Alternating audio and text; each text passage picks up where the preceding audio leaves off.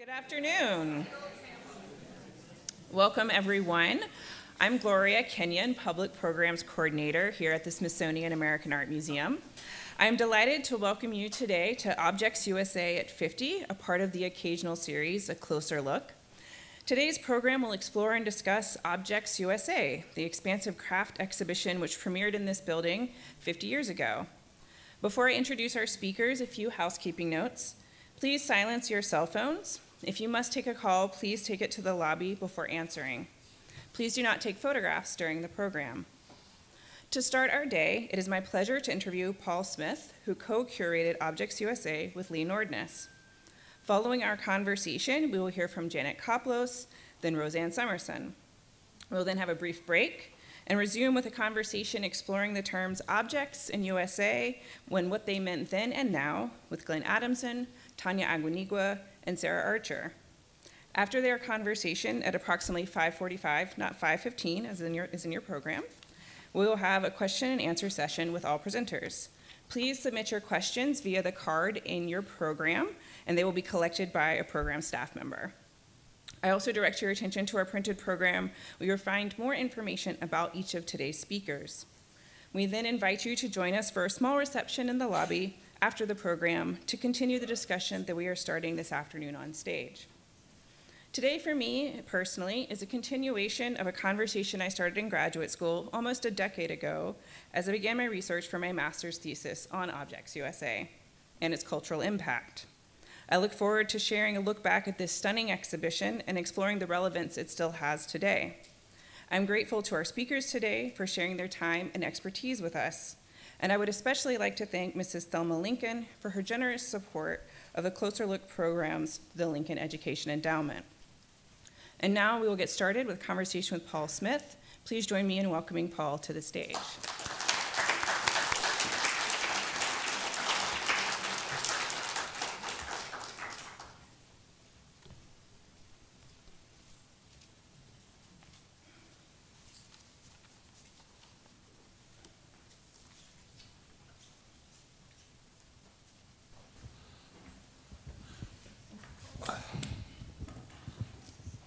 Welcome, Paul. Thank you. Before we begin, I would like to note that all of the works and objects you see behind us are now found in the collection of the Museum of Art and Design in New York. Paul, as co-curator of the show Objects USA, can you please give us a brief overview of the show and how you became involved? Well, uh, first of all, I want to thank you for organizing uh, this event because I think the 50th anniversary is a worthy time to, to do it. And for me, it's uh, personal because um, I was involved uh, with the forming of the collection, which I will explain a bit. But and I was here in this building near 50 year ago, 50 years ago on October 2nd, 1969, for the premiere opening. so it's very interesting uh, to think back to that time and also uh, to be here today to reflect on what is now history of the uh, in the 20th century.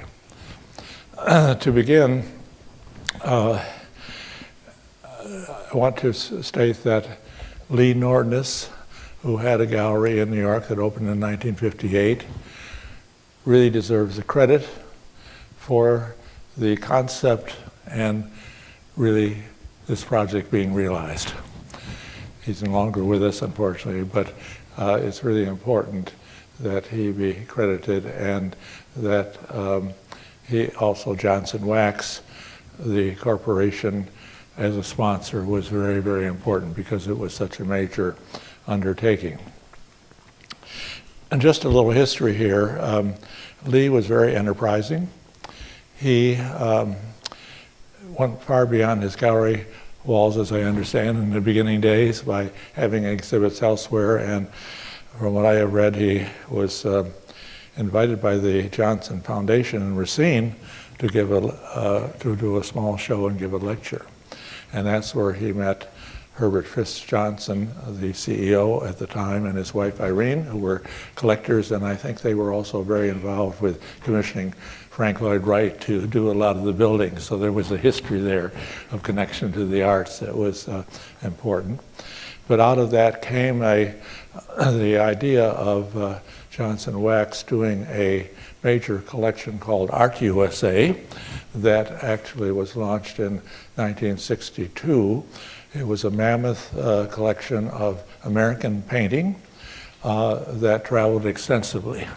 So uh, that was a, a, kind of a preliminary uh, phase of Objects USA because uh, Lee then, having a good connection with Johnson Wax, um, approached them about an idea of a show dealing with artists in the craft media. Uh, and um, that I think that Lee was always very, very um, uh, interested in the breadth of the arts in general, the visual arts. And I know I understand he also had collected modestly in the early days of buying works at America House, which was a marketing outlet for the American Craftsmen's Council, and also began to uh, show some of the artists in these exhibitions. So there was a history there, and I don't know the exact date uh, when it happened, but it was certainly, uh, at least I expect about two years before it, this show was realized or launched here, that he invited me to lunch one day and said that he had the interest of doing a sequel exhibition. Would I be, could I be involved? Because he knew what he didn't know, that he knew the resources of, of the American Craftsmen's Council, now the American Craft Council. And um, also, um, he, uh, I was uh, then director of what was the Museum of Contemporary Crafts, now MAD. So um, the offer was uh, very simple uh, of uh, any expenses would be covered, uh, a small stipend uh, grant to the uh, American Craftsmen's Council. And the biggest offer was that as Johnson Wax would be acquiring the works to, to help the artists, it was the idea behind it, but also that they would donate the works to permanent collections. Now that happened with Art USA as well. So um, uh, if I were, would become involved, I would have first choice of a third of the collection. so, needless to say, that was very tempting. However, um, I uh, saw it as something as a, a, major project that was far beyond the scope of what ACC was doing. And, uh, and so uh, after consulting with some of my colleagues at the organization. I accepted quickly and we moved forward. Fantastic. Um, also, just so wonderful to get the first choice. Um, Mad does have, a, as we can see behind us, a great collection. Um, so you mentioned that Lee had a good understanding of what he didn't know and asked you to help him um, determine what would be yeah. good in building this. How was the collection of work determined, and how did you um, distill down your curatorial focus? I will try to simplify it because it was a very big project. um, we began uh, quickly by what I would call very aggressive research. With the artist files and information on a lot of the artists, we were able to um, compile a list because we had addresses and contact information of some of the known makers around the country. So the first stage was writing letters to these artists and asking for uh, slides or photographs. It was pre-internet. There were few, very few galleries. There were no events like SOFA where one could go and see a vast amount of material. So it really was pioneering time to, to, um, uh, to collect material. And uh, so letters were sent uh, to the, uh, these artists, and then we would have review sessions. But it was also uh, realized that uh, on-the-spot travel was required. And so uh, there were several trips planned. Um, the press release at the time of the opening states that there was 14,000 miles of research travel. I can't verify that, but uh, I, I did go on many trips uh, to the Northeast, the Southeast. We went made a trip to the West Coast. We went to um, not even onto Hawaii because we wanted to represent the whole United States, and so um, it was a very um, uh, um, um, as I said before, a kind of a rapid and uh, focused uh, research phase of, of, in a short time. For these trips, we would do research and we would target an area like in New England where they're around Boston and the New England area and uh, went to the New Hampshire League. And uh, so in each place we would uh, plan to make contact with organizations uh, and um, that had background and information as well as schools. Schools were a very important contact because that was a point where departments and ceramics and uh, uh, glass began to emerge as well as fiber uh, coming out of home economics were then in art uh, school programs and university art programs. So our contact with the faculty was the first step as they were often candidates. And then we benefited from their uh, informing us of um, emerging talent, often graduate students. Uh, and so um, we benefit from that. We would visit um, artist studios and whatever was in that, in that area. We couldn't, of course, cover every very single uh, location, but it was uh, it was a very extensive uh, uh, phase, and I think was very important in the final result. Yes, and um, before I get to, because it was such an extensive collection and our slideshow is not quite working properly, I'm going to fix that so folks can see all these amazing works. Um,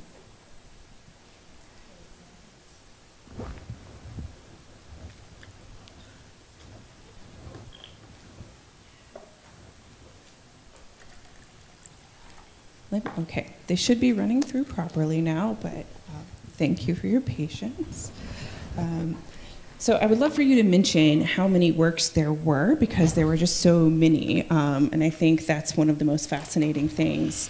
And well, then um, after we get that fun fact, um, what was the public's response to this? You mentioned this is pioneering, and there weren't few galleries, there weren't that many galleries at the time. So how did the public respond to seeing this? Some folks for the first time, and then what was also the press response upon yeah, seeing this? Yeah. Well, there were um, at least my account was 358 artists and uh, 308.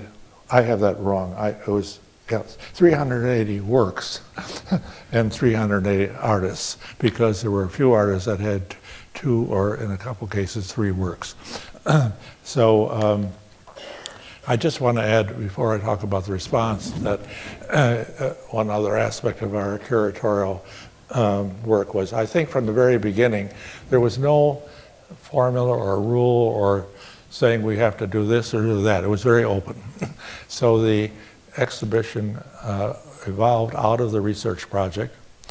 And um, I think Lee and I were both on the same wavelength. He certainly had the idea of a survey exhibition that, um, and I certainly understood that uh, uh, as an important focus. Uh, and I think that it was, uh, Art USA, I think, set a precedent for uh, establishing what Objects USA could be. Uh, I can't say that we, Lee and I ever had any real disagreement. I think we were on the same wavelength even down to the selection of work when it came to that. Uh, we would discuss work or whatever. And I, the other point that I wanted to make is that my involvement was uh, uh, really one phase of the project.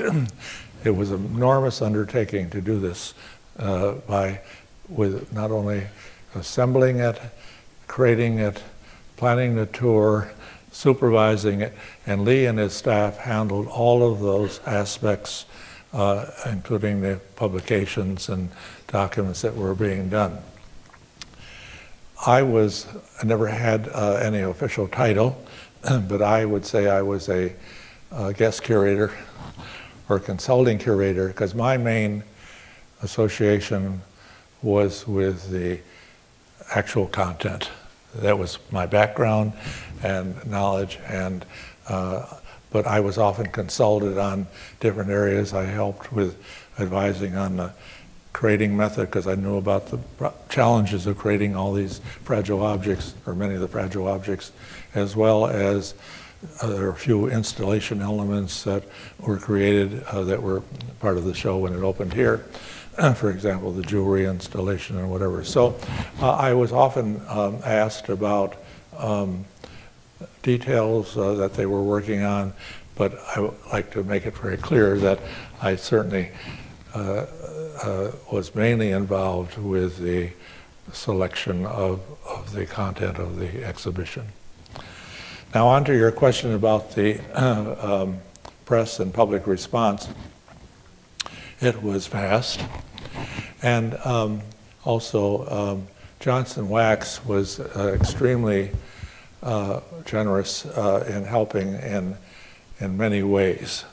One being that they had um, provided the services of their uh, very distinguished press advertising agency, the Carl Byoir Associates, and they were not involved with every PR activity because they would work with, say, this museum here.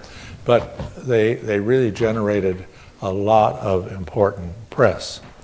The week of the opening here, uh, Aline Saarinen, who was then doing reporting for the NBC Today show, did a, a report. That was great. And then um, when the, there was another aspect uh, in um, that they were involved with that they sponsored a one-hour film uh, highlighting, uh, profiling a few of the artists in depth. It was more, more about the artists with reference to the project, and they bought the airtime on ABC primetime evening. And in uh, 1972, when the collection uh, gift came to the museum, we had an exhibition and NBC again had an interest, and we moved some objects to the studio, uh, uh, Rockefeller Center, not far away. And I was interviewed by Barbara Walters, who actually wanted to buy one of the works. and those events in America reached millions of people when you have national TV, you know. Uh, so um, the press was very important. On the European tour, uh, I have a press reports that document the coverage and the response and some of the uh, attention, and it was enormous because um, uh, I would say generally uh, it was extremely well received. It went to 11 uh, cities, and um, I think it, uh, Edinburgh had 53,000 attendees, and Warsaw had 24 that was a lot in a short time.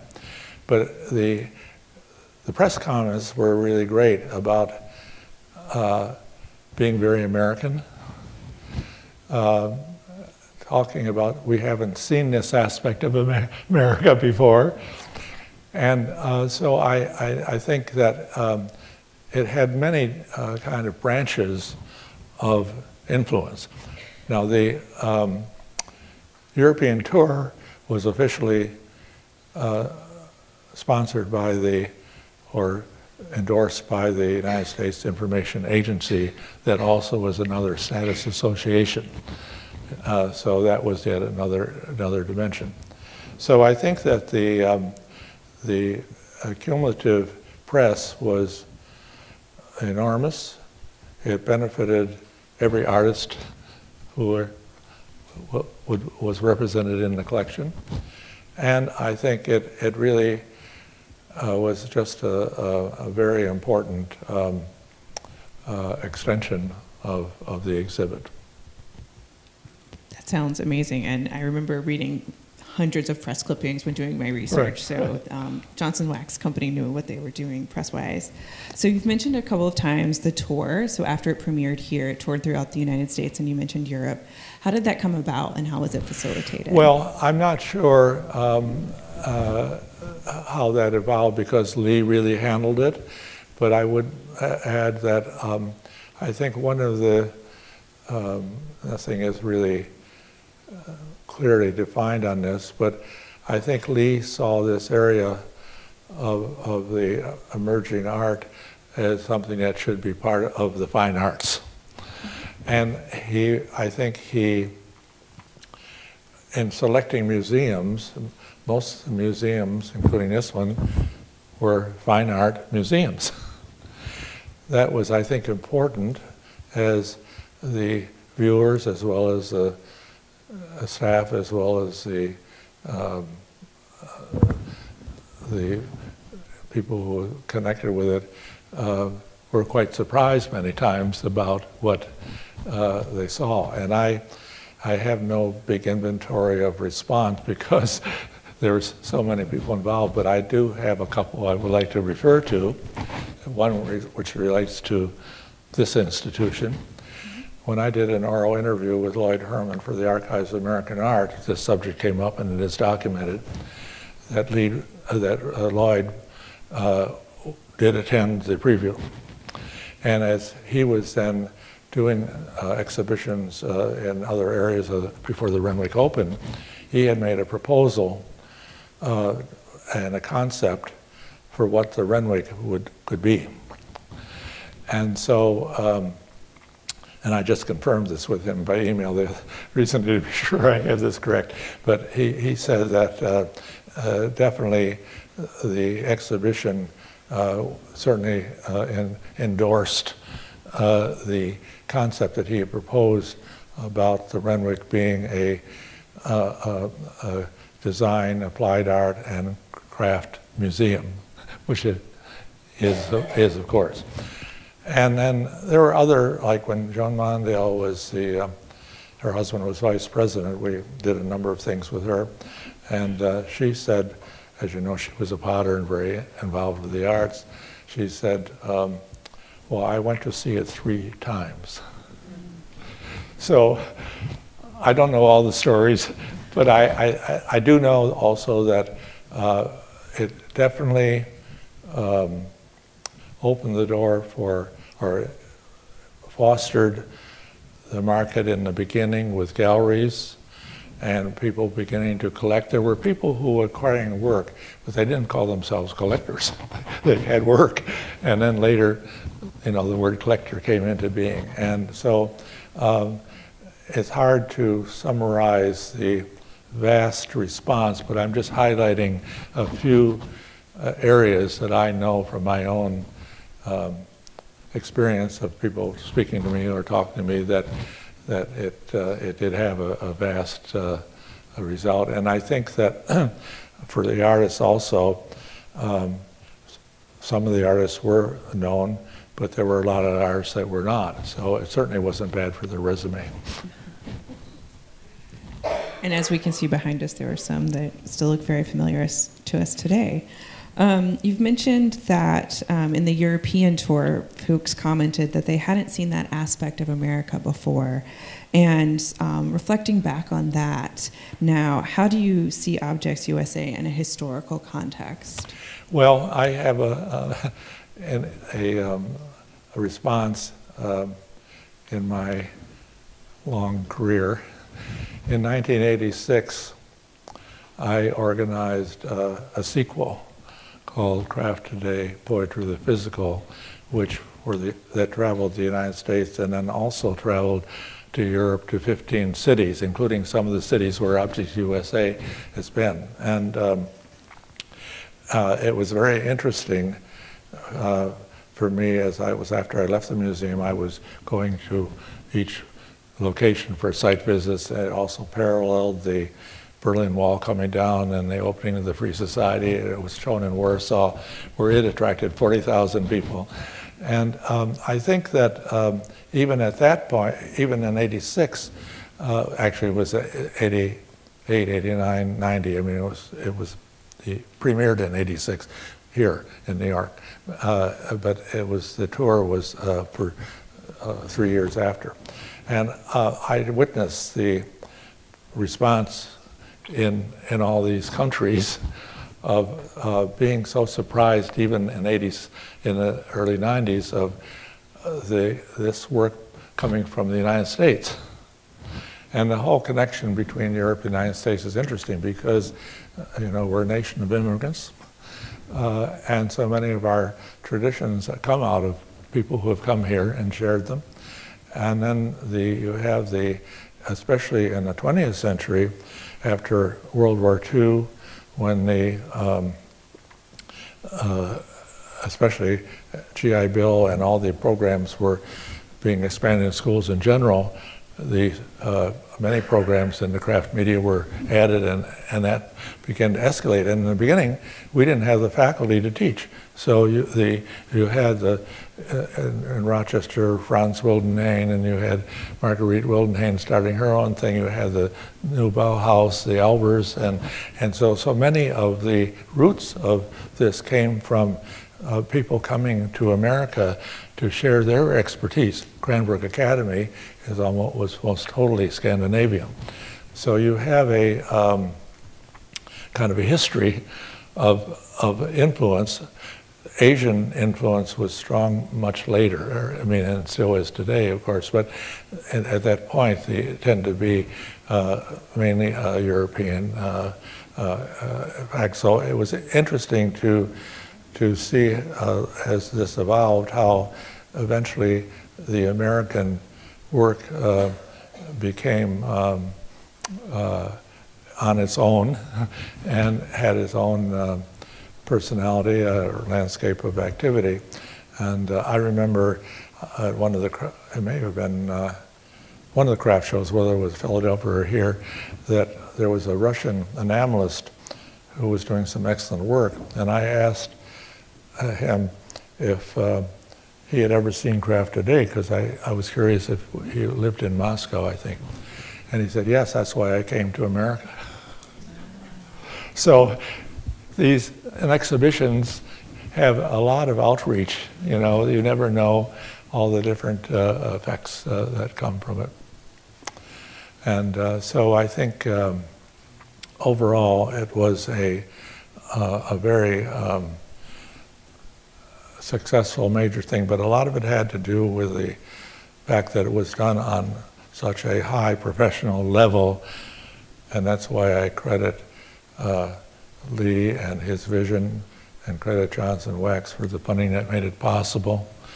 And I think that uh, uh, uh, it was a monumental uh, task, really monumental.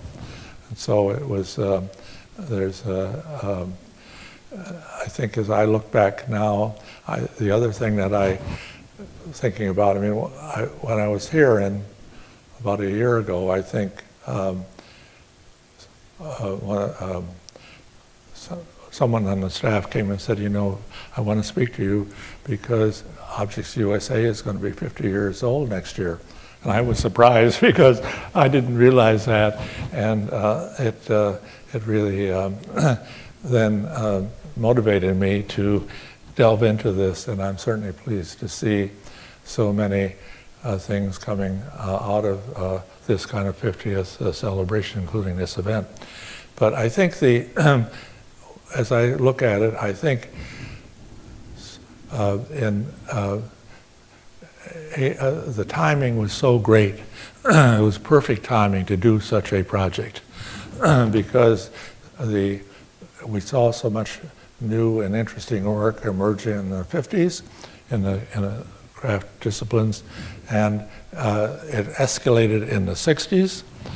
And I think that the end of the 60s was just the ideal time to launch this, this survey. I mean, had it been done in the 50s, I don't think it would have had the excitement that it did at the end of the, of the 60s.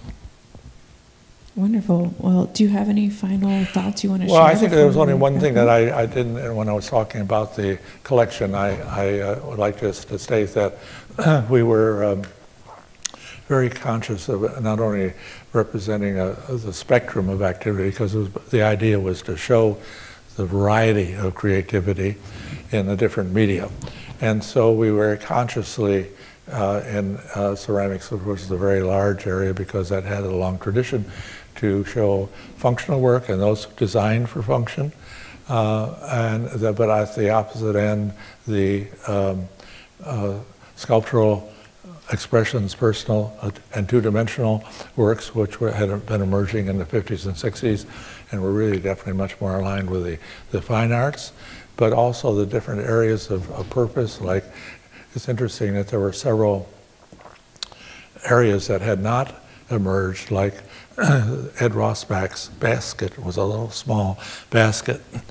Woven forms in that context of vessel forms contemporary ones didn't exist. That became a whole movement later on. I'm not saying it was because of the show, but Ed Rossbach was a very important teacher.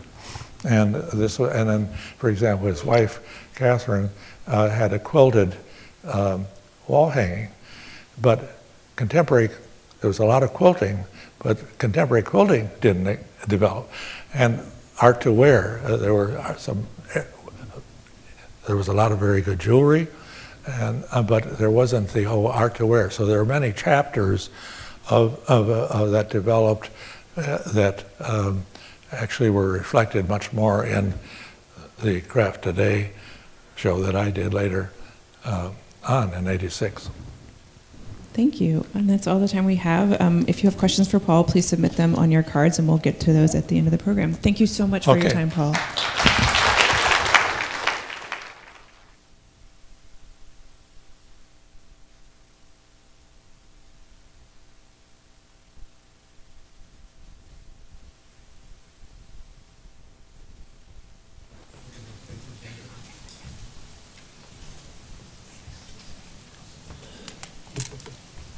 And before I bring up Janet, I'm going to let this run out while I also remove some things from the stage.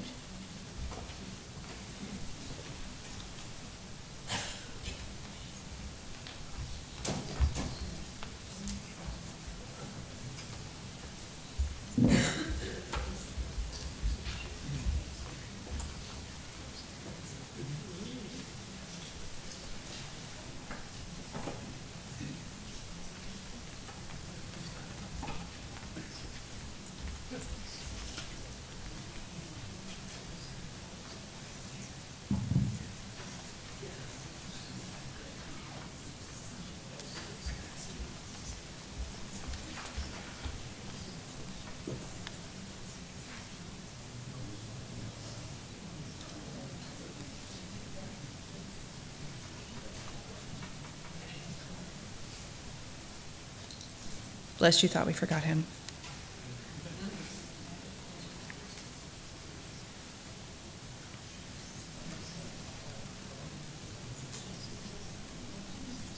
And now it's my pleasure to invite up Janet Koplos to discuss an exhibition for the ages.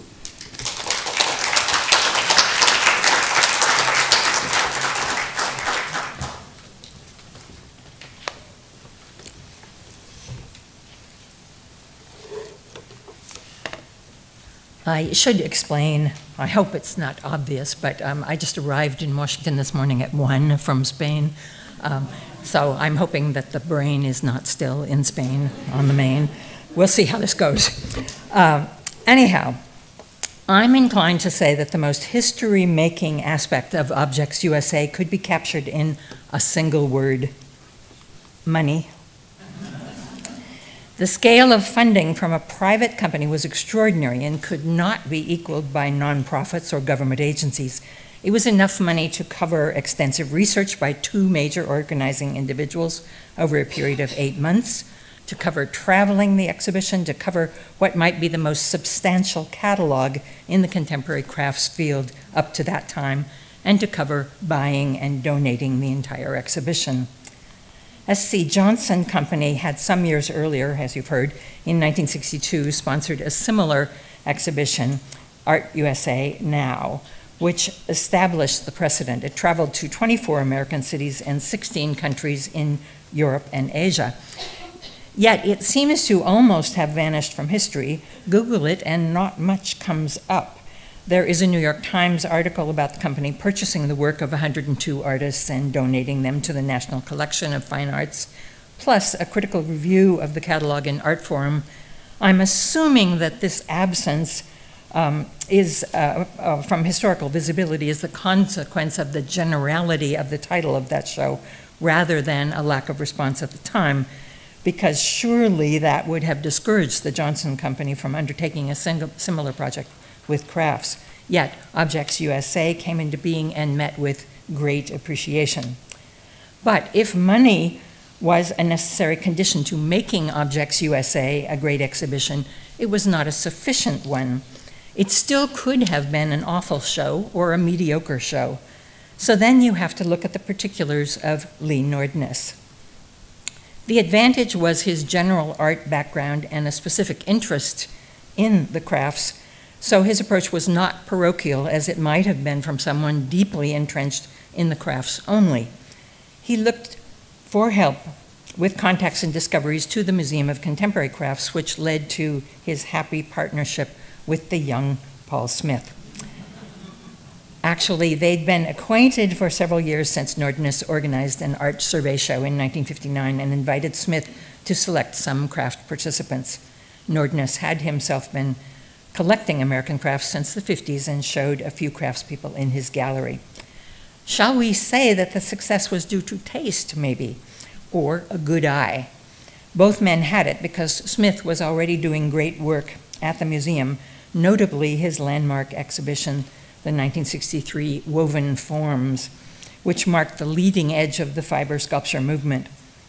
The museum was small, and the Crafts Council was not very bureaucratic at the time, which allowed Smith to respond to what he saw and put up shows in short time frames, more like a gallery than a museum. Interestingly, in 1968, he presented an exhibition called Objects Are, dot, dot, dot, question mark. It did not have a catalog. Maybe it was just that word was used because the language was changing. Maybe it was coincidental with Nordness's word choice. We could ask this question. Um, craftsman was fading away, and the designer craftsman term that was introduced in the 1950s began to seem inappropriate as the crafts moved away from function. Artist craftsman came to the fore, and also notably the term object maker Moreover, the word had a place in concurrent minimalist sculpture, with Donald Judd calling works specific objects. Nordness was billed as the sole author of the catalog, but he credits Smith as collaborator on the exhibition. It clearly was not the product of a committee mindset. There seems to have been no feeling of obligation to include the old war horses of the field, which gave the selection an edge of immediacy while the majority of those shown were established and respected artists, some of the big names of the craft field were not included, such as Glenn Lukens in clay, Alan Adler in metals, Walker Weed in wood. And so the, ex the exhibition was not filling obligations by seniority. It was instead a picture of a blossoming and changing field. Makers such as George Timock and Dick Marcus were only 24 years old in 1969 when they were chosen and Wayne Higby was 26. Newcomers to the field, such as Jun Kaneko and Neda Al-Hilali, were included. It bears mentioning that the exhibition was inclusive, strikingly inclusive. Women were well represented, even if the numbers might not be quite equal. There were not just Asians, such as Kaneko, but also more than single token black artists and Native Americans. These two examples were not alone. This inclusiveness could only have been intentional, and it was quite forward looking.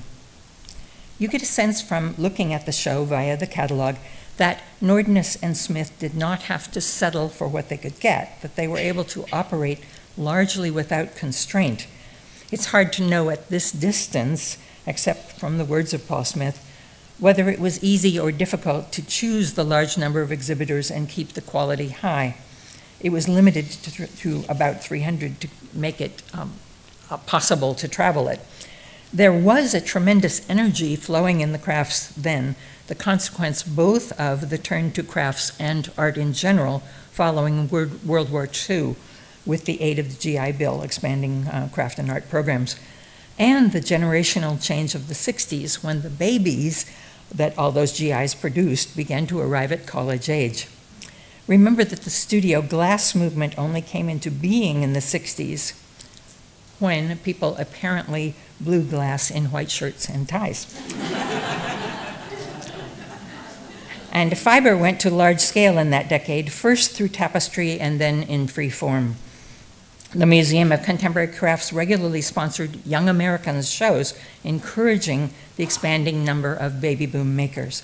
Objects USA seems to have caught that burgeoning of creativity. Let's consider the catalog itself. It's hardcover and 360 pages. More typical of the time were catalogs such as Smith's for Woven Forms, which is small and thin and has a brief text just beginning to grasp the idea that this work should be documented. Maybe the only substantial catalogs in the field at the time came from the California Design Program in Pasadena. So you can see that Objects USA was amazingly ambitious. And that catalog, I think, is a central part of the importance of Objects USA. Um, just, uh, not just that the show traveled and that a lot of people saw it, but that those of us who did not see it live could experience it later. The substantial catalog and the extensive illustrations make it possible for us to reclaim the experience to some degree. The exhibition is made less ephemeral. You and I can look at that catalog and get a broad representation of the exhibition, even if it lacks the physical resonance of being in that place at that time. Simply the number of photographs of the work is significant, and the fullness of the explanation. Each artist is listed with biographical information and sometimes an artist statement, and always a headshot to make it personal and individual.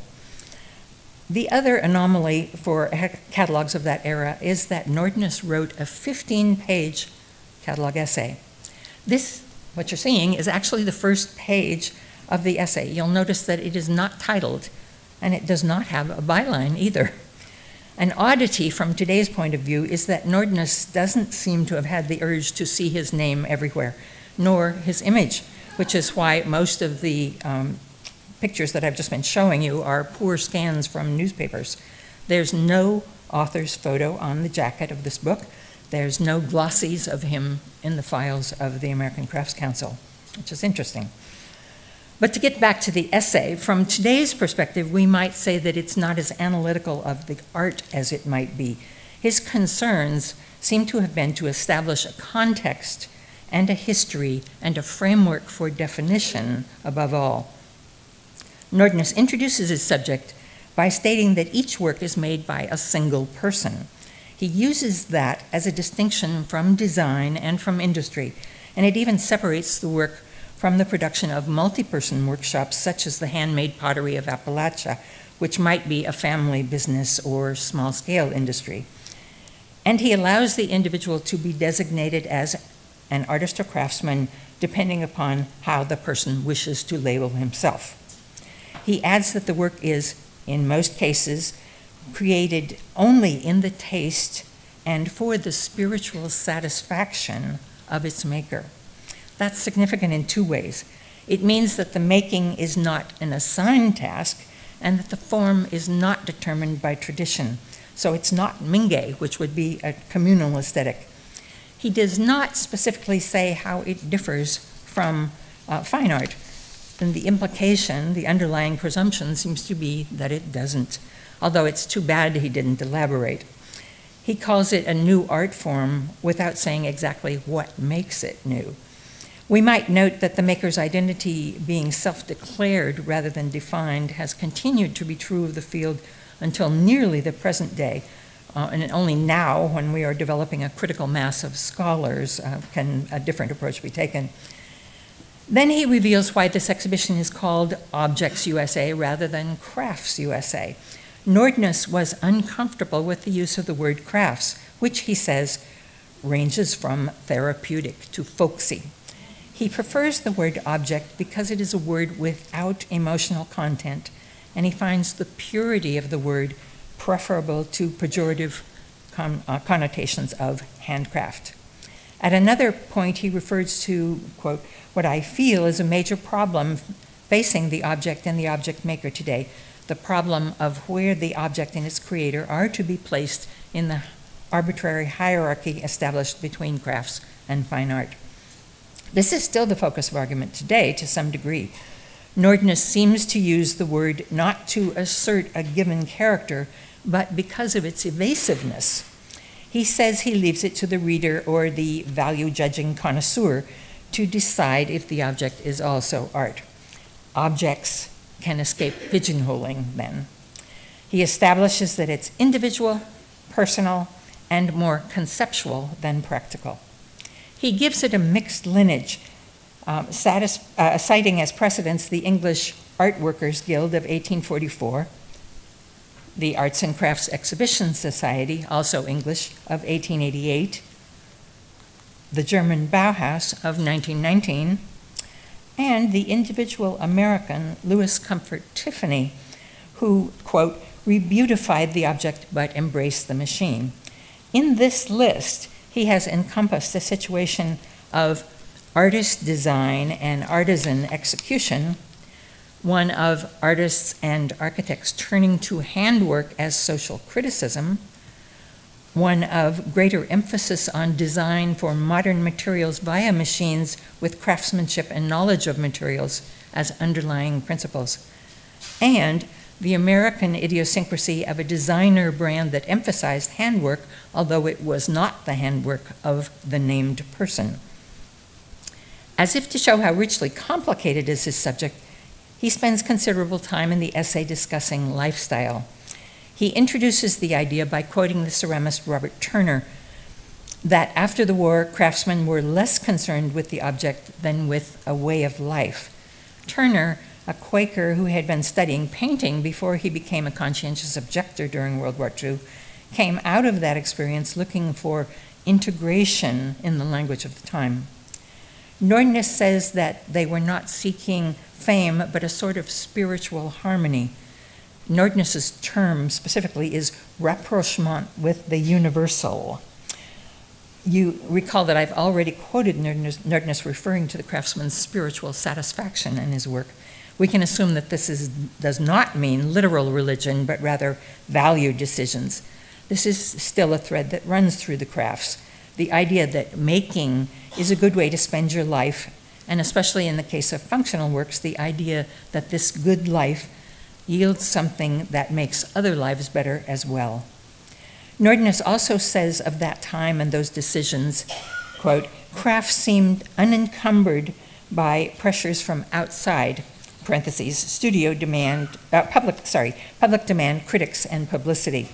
Ironically, the success of his exhibition and all the publicity across the nation and the discussion of the issues that he undertakes in the catalog all moved toward creating those pressures. Utterly central to the impact of the show was the breadth of exposure, both in terms of the number of venues and the amount of PR. A few years ago, Paul Smith noted in an interview, and repeated a bit of it today, but I'll quote him anyway, uh, that the exhibition premiered at the Smithsonian National Collection of Fine Arts. That was important and symbolic to be in our nation's capital. It was launched with the company's public relations office that promoted it nationally and internationally. Aline Saarinen was at the opening and did, uh, um, did an, an NBC Today show report. Later, when it was in New York, I was interviewed by Barbara Walters on Today, so it had vast visibility. And when it went to 22 art museums around the country, the tour is well documented, it generated enormous interest. There was also a film produced that uh, featured profiles on the artist Johnson's wax wrought, bought an hour of prime time on ABC, which was an important venue for the visibility of the project. The shift in the way crafts were regarded and had already, uh, had already begun, albeit slowly. Two decades earlier, in the spring 1950 issues, issue of Craft Horizons, a calendar of exhibitions was published for the first time. Implying that just making and selling were not the whole stories, but that, uh, that looking via exhibitions was also part of the value of craft. Full-fledged reviews appeared in Craft Horizons beginning in 1955. Movement in that direction was then helped by the appearance on staff of Rose Slivka, an experienced, experienced writer and editor whose husband was a sculptor and who was a good friend of Elaine de Kooning. She operated in the art world, and she brought more of it to the pages of Craft Horizons. Nordness, in his essay, called Craft Horizons the official journal, and he gives several pages to consideration of its development. Some other notable assertions in the essay. He gives universities, not the art world, credit for bringing attention to crafts. He addresses the question of whether utility is a limitation. He cites intent in determining whether something is art.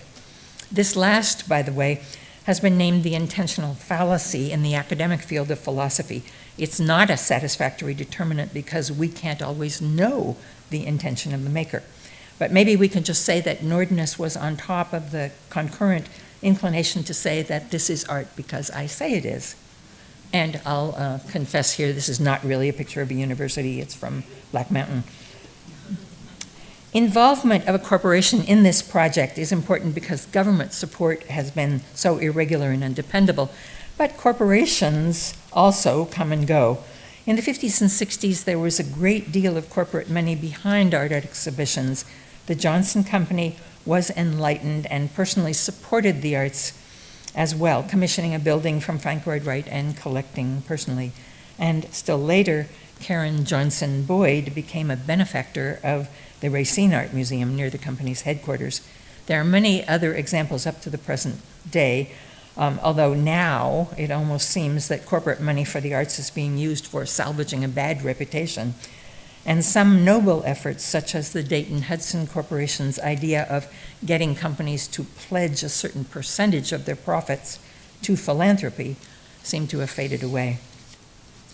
Nordness's coda to his essay lists these five important aspects of this representative cross section that made up Objects USA survival of hand skills, beauty, tactility, intimacy, emotional, intellectual involvement. And then the true test. If this show had all these features and addressed these still valid concerns, uh, but the choices of work had not held up over time, it would be nothing but a historical curiosity rather than a model for such subsequent multimedium survey shows as the Renwick Gallery's The Object as Poet in 1976, or the Philbrook Museum's The Eloquent Object of 1987. You'll notice uh, that both of them used the word object and both had substantial catalogs. So let's look at the categories of work that drew the attention of Nordness and Smith. There were the obvious mediums that still characterize the crafts field today, and a few surprises. One area that might have been included and was not is handmade paper and books. The first section was enamels. June Schwartz was a lasting superstar of the medium, even as other enamelists have van vanished from our awareness, whether justifiably or not. Significant fig uh, figures of the time included, along with Schwartz, are Kenneth Bates, Ella Marie Woolley, Harold Helwig, and Paul Hultberg. Uh, enamels would surely not get its own section in a comprehensive exhibition today. It survives largely as a subset of jewelry, and aside from that, through the dedicated exhibition and book efforts of Hal Nelson and Bernard Jazzar. The second section was ceramics, and this one was full of winners. Interestingly, Nordness says in his essay, quote, in general, the growth of the entire crafts movement in the U.S. will be approached in this text through ceramics. Although he does give a chronology of metals in, uh, in, from the 30s, weaving from the 40s, and glass in the 60s. Clay is probably no older or more numerous than textiles, but it has the advantage of more often being marked. Many textiles were unsigned. And it lacked the stigma of being a primarily female field uh, that textiles still struggles with today, even in our era of pushing for gender equality. At any rate, the ceramic selections for Objects USA includes a huge number of figures already or becoming major. Such as, um, including the slides you've seen earlier, the Natzlers, Maija Grotell, Carlton Ball, both Wildenhains, who were divorced by then, Henry Varnum Poor, the Scheiers, Beatrice Wood, Ruth Duckworth, Ken Ferguson, John Glick, Byron Temple, Karen Karnes, John Mason, and Peter Voulkos. Voulkos, who had shifted to metal in the 60s, is represented by the 1959, slightly out of date, uh, cross, as well as one more recent vessel work. As I mentioned, there was also the young Wayne Higby, not yet making um, the landscape work that later brought him fame, but someone of these men, or both of them, had the good sense to see that he would amount to something.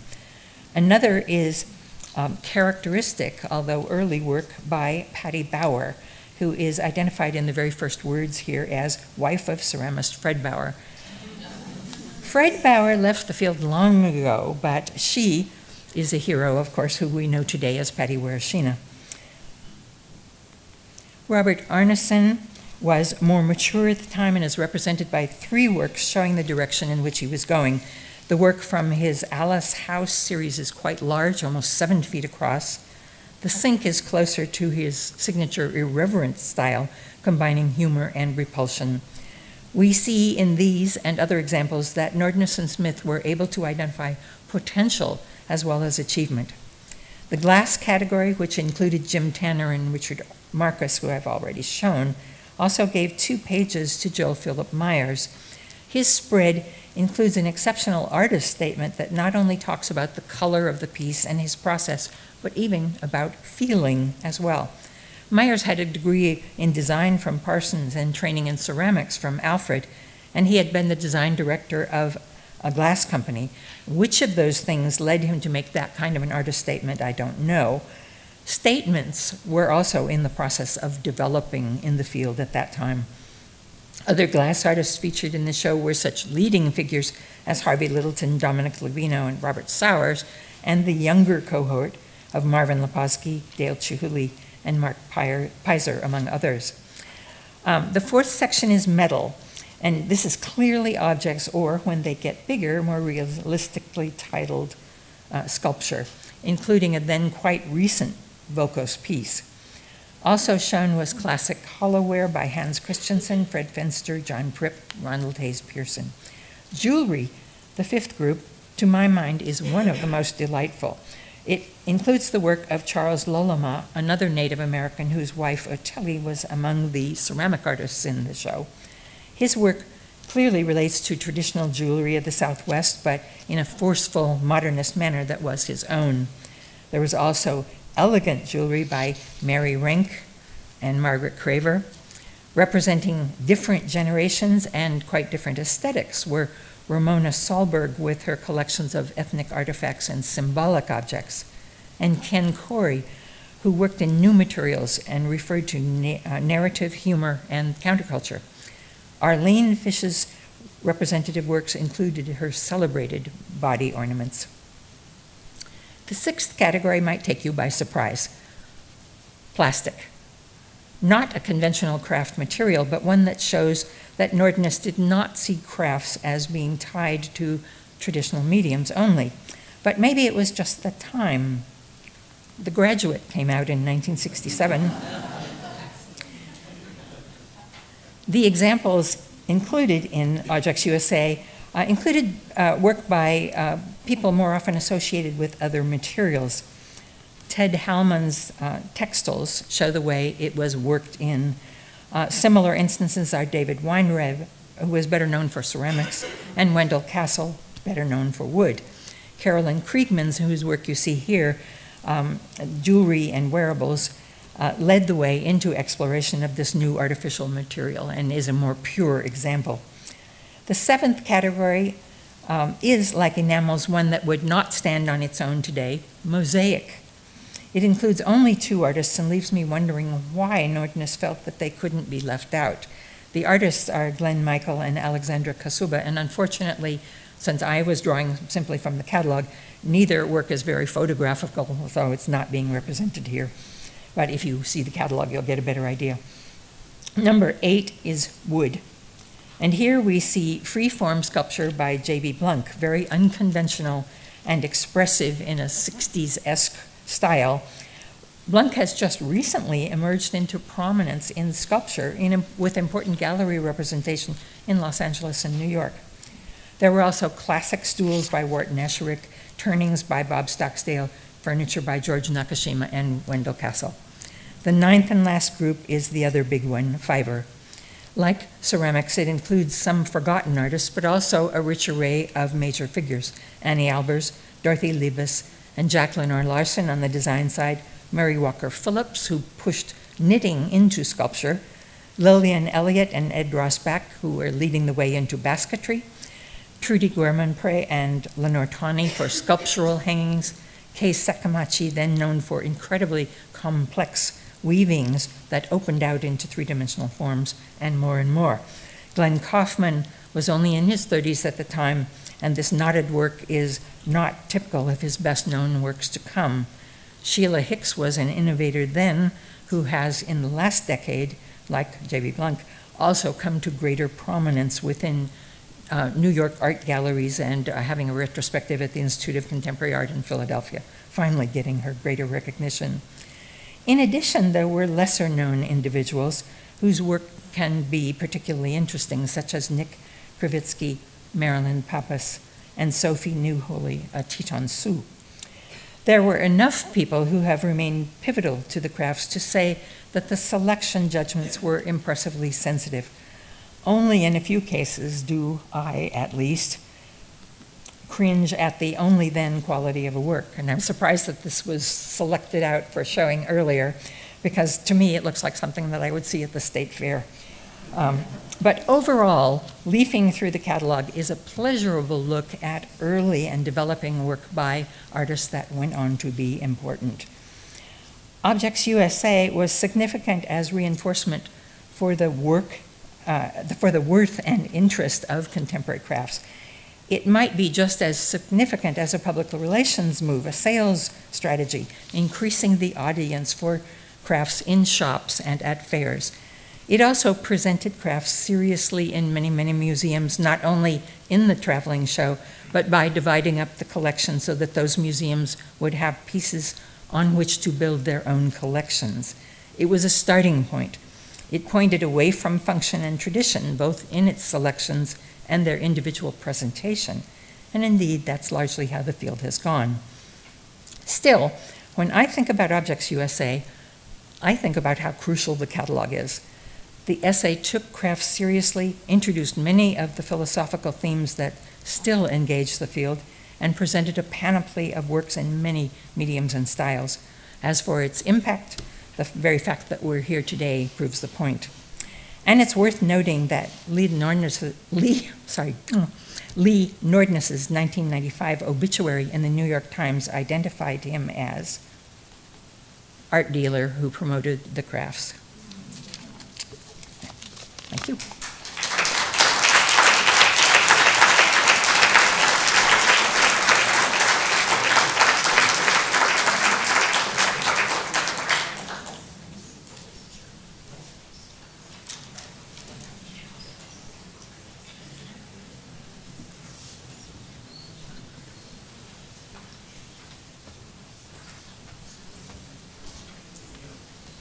Thank you, Janet. And now welcome up Rosanne Somerson, president of RISD, to talk to us about the lasting influence of Objects USA.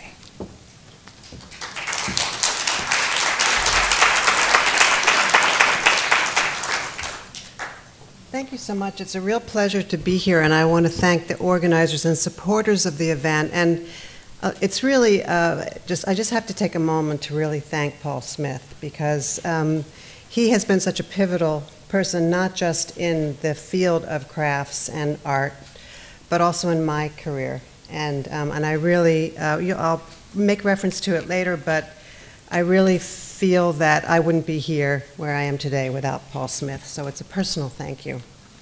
Um, the, I came to, into this work a little bit later. I'm one of the only speakers, I guess, who was in the show, Poetry of the Physical. So I was an artist. Um, And so uh, when I first learned about this work, I learned about it as a student. So I was fairly young. I was older than, you know, the show happened before uh, basically when I was being born. But um, when I was trying to find something that would sort of encapsulate how I felt about seeing that catalog, this quote came to me Life is not measured by the number of breaths we take, but by the moments that take our breath away. And when I first saw this catalog and learned about this whole field of work, my, it took my breath away. It, I realized that there was something out there that was um, beyond what I had imagined when I entered art school. I entered as a photographer and very quickly um, decided that I wanted to do something more physical. And I found the wood shop and woodworking and decided that that would be my direction. And, and that process, learning about this show, was a pivotal moment for me in understanding the kind of possibilities of making things in materials.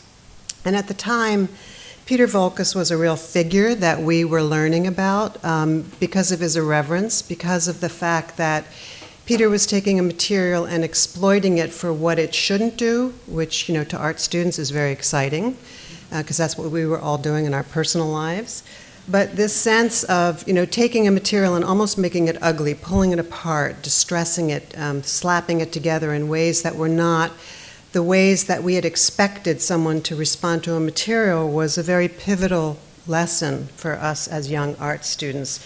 And objects like this, which you know are in retrospect beautiful, but at the time were seen as a, sort of aggressive responses to con- contradicting the material and what the material would do, became very influential. And um, it'll be interesting to see which, which um, images we've all picked out because you've seen some of these. Um, but this uh, cross and its kind of spiritual connotation was also very fascinating. And I was not someone who ever really did ceramics, but these were influential, iconic works that we were learning about as we were developing as young students our own aesthetics and our own approach to dealing with materials and with making. And we were always. Um, informed uh, or introduced to making as a very intellectual process. Really critical making is what we've called it at RISD, but it's the sense of the intelligence of the hand, the intelligence of materials, the intelligence of the process of actually making something that didn't exist before come to life. And there were um, icons like Beatrice Wood, who was, again, as has been mentioned in, in, the excellent presentations prior to this, there were a lot of women uh, role models, not in the fine arts world in the same way, but in this world there were. And interestingly, they were so connected with the fine arts world. Um, Beatrice Wood was living in Greenwich Village. She was friends with Isadora Duncan, Edna St. Vincent Millay, Man Ray, and she fell madly in love with and had an affair with Marcel Duchamp. So her work was being heavily influenced by the work of the fine arts, and she was actually uh, started a publication with Marcel Duchamp called The Blind Man, and she was called the Mama of Dada, which is kind of interesting, and also went on to have a, a simultaneous affair with um, one of his best friends. And the menage a trois, people don't necessarily know this history, but it inspired Truffaut's landmark film Jules and Jim about a menage a trois. So there was lots happening in the art world that was influencing the craft world in a way that was somewhat different than what would have seemed to be the more kind of um, expected trajectory of the, of the decorative arts. And I think that's an interesting um, influence that influenced a lot of us as young artists. Um, she has a really fascinating uh, story, which I won't go into fully, but after the Menage a Trois, she ended up becoming a follower of Krishnamurti and um, so on and so on. So there was a very interesting story, but she was not necessarily an elegant ceramist. She um, was really kind of struggling with learning the technique because I don't think that was what interested her so much, but the expression of the objects was interesting. And she died um, in 1998 at 105 and had worked every day at her potter's wheel until she was 103. So um, that was, was um, interesting also as a um, person looking back now. Um, Jun Kaneko was a fascinating human being and was actually teaching at RISD when I was a student there in the 70s. And Um, his wife knit him these beautiful sweaters that looked just like his work, these bright, bold striped sweaters. I tried to find a picture of one for this, but I wasn't able to find a good picture. But the scale and the intensity and the, the color and vibrancy of his work was hugely influential to those of us working in walnut and maple and cherry. And, um, and just the, the incredible ambition of his work was really inspiring to all of us as we were developing as young artists. Also, the, um, the sense of um, the, the comfort in dealing with issues of the body and with scale were um, really inspiring. This is 1967. At this point, you know, I hadn't started art school yet, so we were looking back at these things later. Um, I was in art school in the mid 70s. Robert Strini was another interesting character who was from the West Coast, and there was this, in the furniture field, which was my field, there was this great divide between the East and the West. The West Coast um, woodworking, and I'm not sure if Glenn's going to get into that later, but it was a very different set of styles, a very different set of um, technical approaches and use of the material. The East Coast work was coming much more out of universities that had an interest more in fine joinery and engineering and using materials in sort of minimal ways rather than the kind of grand scale ways that was happening in a, uh, a lot on the West Coast.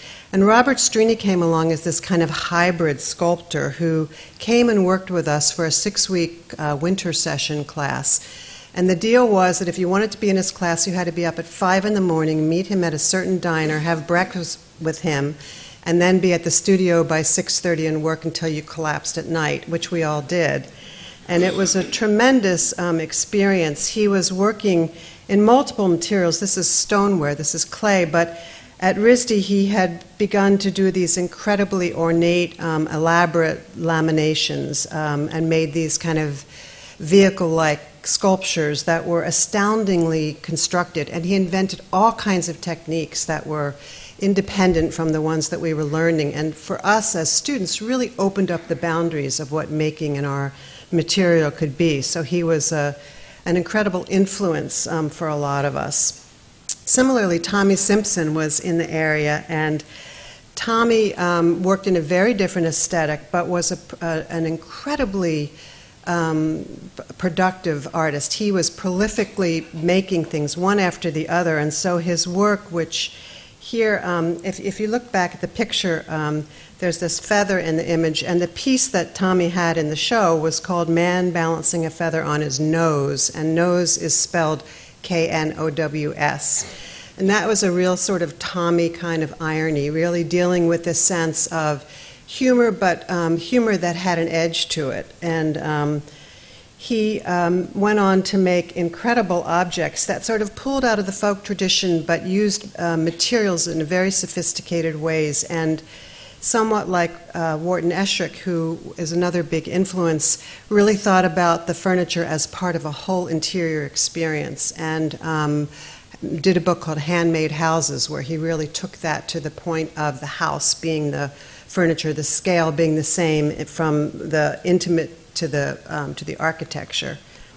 Jere Osgood was another huge influence, and Jere had a really particular approach that was unique in the field. Um, this was his piece in the show, the Fiddleback Mahogany Chest of Drawers in 1969. And it's, for those of you who aren't furniture makers, part of the amazing thing about this was that he was making um, compound curves that fit together in a way that really hadn't been explored um, since the French bombé chests. And so this was uh, bringing this really interesting and very complex technique of multiple bent laminations in compound shapes to a place that inspired an enormous amount of technical mastery among the furniture makers as they began to evolve their field. Um, this is a piece that's in the RISD Museum, which is Shell Desk, which is uh, playing off the kind of tambour desk, but this again are laminations that are formed, tapered, and connected to one another almost like a very um, fine kind of boat, you know, wooden handmade boat but Jere had this attitude about materials and structures. One of his famous assignments that he used to give students was called the 7% chair. And the idea was to make a chair that was so beautifully constructed, so beautifully engineered, and with such important joinery that it was 7% above the breaking point. And which is a kind of metaphorical idea because obviously it wasn't really tested to the point where people would, you know, want to break their chairs, but it, it was about a perspective and a point of view which was very different than the work of J.B. Blunk and Wendell Castle and others who were using the materials in, in very different ways. Jack Prip was also at RISD, and um, as an 18 year old um, freshman at RISD, I had the opportunity to live in his house for a while while he and, and his wife were on sabbatical and traveling. And that was a totally eye opening experience because their house was full of craft, every aspect of it the salad bowls, the, the serving um, trays, the textiles, and it was like walking into this world of wonder as a young person, and it had a huge influence on me um, as a young maker. And um, these are some of the objects that we're fortunate to have in the RISD Museum, some of Jack's hollowware. Later in um, his career, he um, had an injury, a kind of bursitis um, in his shoulder from just years of, of uh, making hollowware objects. And um, being the artist that he was, he went to a different medium in metal and started folding paper and designing flatware with um, kind of folded origami like surfaces that didn't require the same kind of hammering. And I think did some of the most beautiful work of his life, later in life, because of this injury. And it was a wonderful lesson to tell students about the fact that you put your own limitations in front of you and you can move them aside and find ways to make them take you to new places. So he was the, ex- the example of that for me. This is a silver and ebony tea set, which is actually on display right now in the RISD Museum. Arline Fisch is someone who also had a profound influence on so many people, um, particularly in San Diego, where she taught for many years. She also brought me onto the board of the Haystack School in Deer Isle, Maine, and many of these artists have a connection to Haystack and to Penland as well. If you um, have the opportunity to go to Portland, Maine right now, there's a wonderful exhibition about the legacy years of the founding of Haystack, which are these late 50s, early 60 years, and a number of the objects that have been shown today are in that show, and you can see them in person at the Portland Museum of Art. But Arline um, was um, just a, an amazingly dedicated teacher, dedicated her whole life to making her work and to teaching others, and um, was always trying to cultivate young women and help them to be successful in their careers. Um, and this piece was shown earlier, but I wanted to show you sort of a progression that I thought was interesting in preparing for this because this was the piece in the show, this body ornament, which um, is, you know, almost has the sense of an uh, X-ray or something. It has this real sense of the body, almost um, literally. But it was all made out of, of um, metal, silver. And then this piece was actually is um, in the Haystack show because I just took this photograph last weekend at the show, and it's half woven and half silver, and it's a collar. Um, and after she um, got to Haystack, she studied textiles with Jack Lenor Larson, who was teaching there. I think she was his teaching assistant. And she returned herself to teach in the 60s, and this piece she made in 66, and it was inspired by the moss and the landscape um, of Haystack. So she was taking that natural environment, which is so beautiful, and, and then really representing it um, literally in her work, but I liked seeing this piece as this bridge between her metalwork and her weaving because later in her life she became known for woven um, metals and making these elaborate um, body ornaments and jewelry pieces that use the notion of woven metal. So she brought those things together into a new place. Um, this is a piece called Silver and Pink Circles in 2005. And Arline always would critique the fact that I wore too much black. She was always dressed in bright colors, turquoises and pinks. And so we had that um, kind of fun um, uh, difference about us. Um, Ruth Radakovich was also somebody that I found really interesting as a um, kind of inspiration. She um, was was an American who was very interested in um, serving in the war. And she went and learned how to fly a plane and wanted to be a WAC really badly, but she was turned down. So she really wanted to help the war effort, and she, um, she joined at the end of the war, she joined the UN Relief and Rehabilitation Mission, which brought her over to Eastern Europe and Yugoslavia, where she met um, her husband, who was Toza Radakovich, and they fell in love. And um, then the Iron Curtain was beginning to come down, so they were forced to leave Yugoslavia and decided to come here she was very good friends with Karen Pripp, which was interesting in Denmark, and so she went to visit Karen and um, did a sort of European tour, and then decided to escape and come here. And she studied here and eventually attended the School for American Craftsmen in, at RIT, where a number of these artists were teaching or were connected or were showing in the um, galleries there.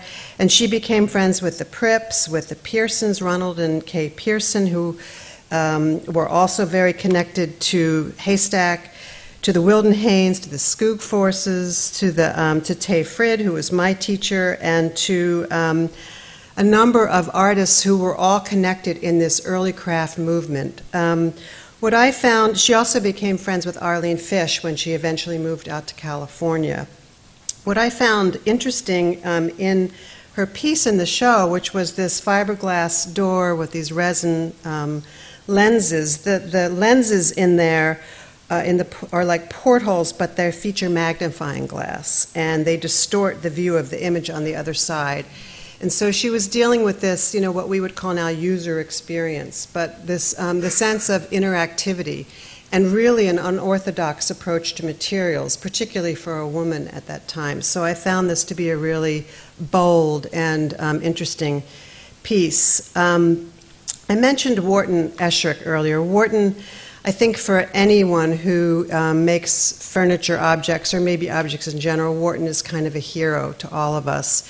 His, um, this is a, a, picture from inside his house, which was um, in Paoli, Pennsylvania. It's a, it's a foundation now. You can visit there. He was very good friends with the architect Louis Kahn, and they worked on this magical house together. And this is just one image.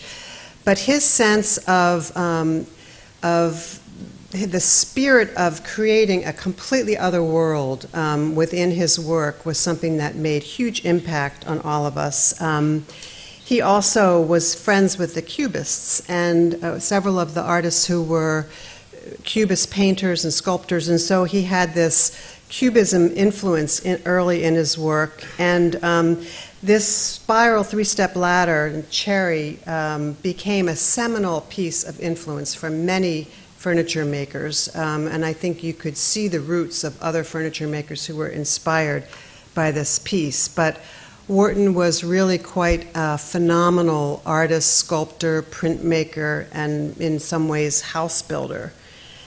Another um, kind of hero in our world was Sam Maloof, um, an, an, incredibly hardworking, long-careered um, furniture maker who was from the West Coast um, and had a very different style again to the construction methods that he would use to the ones that we learned on the East Coast. It was really a, a coastal thing.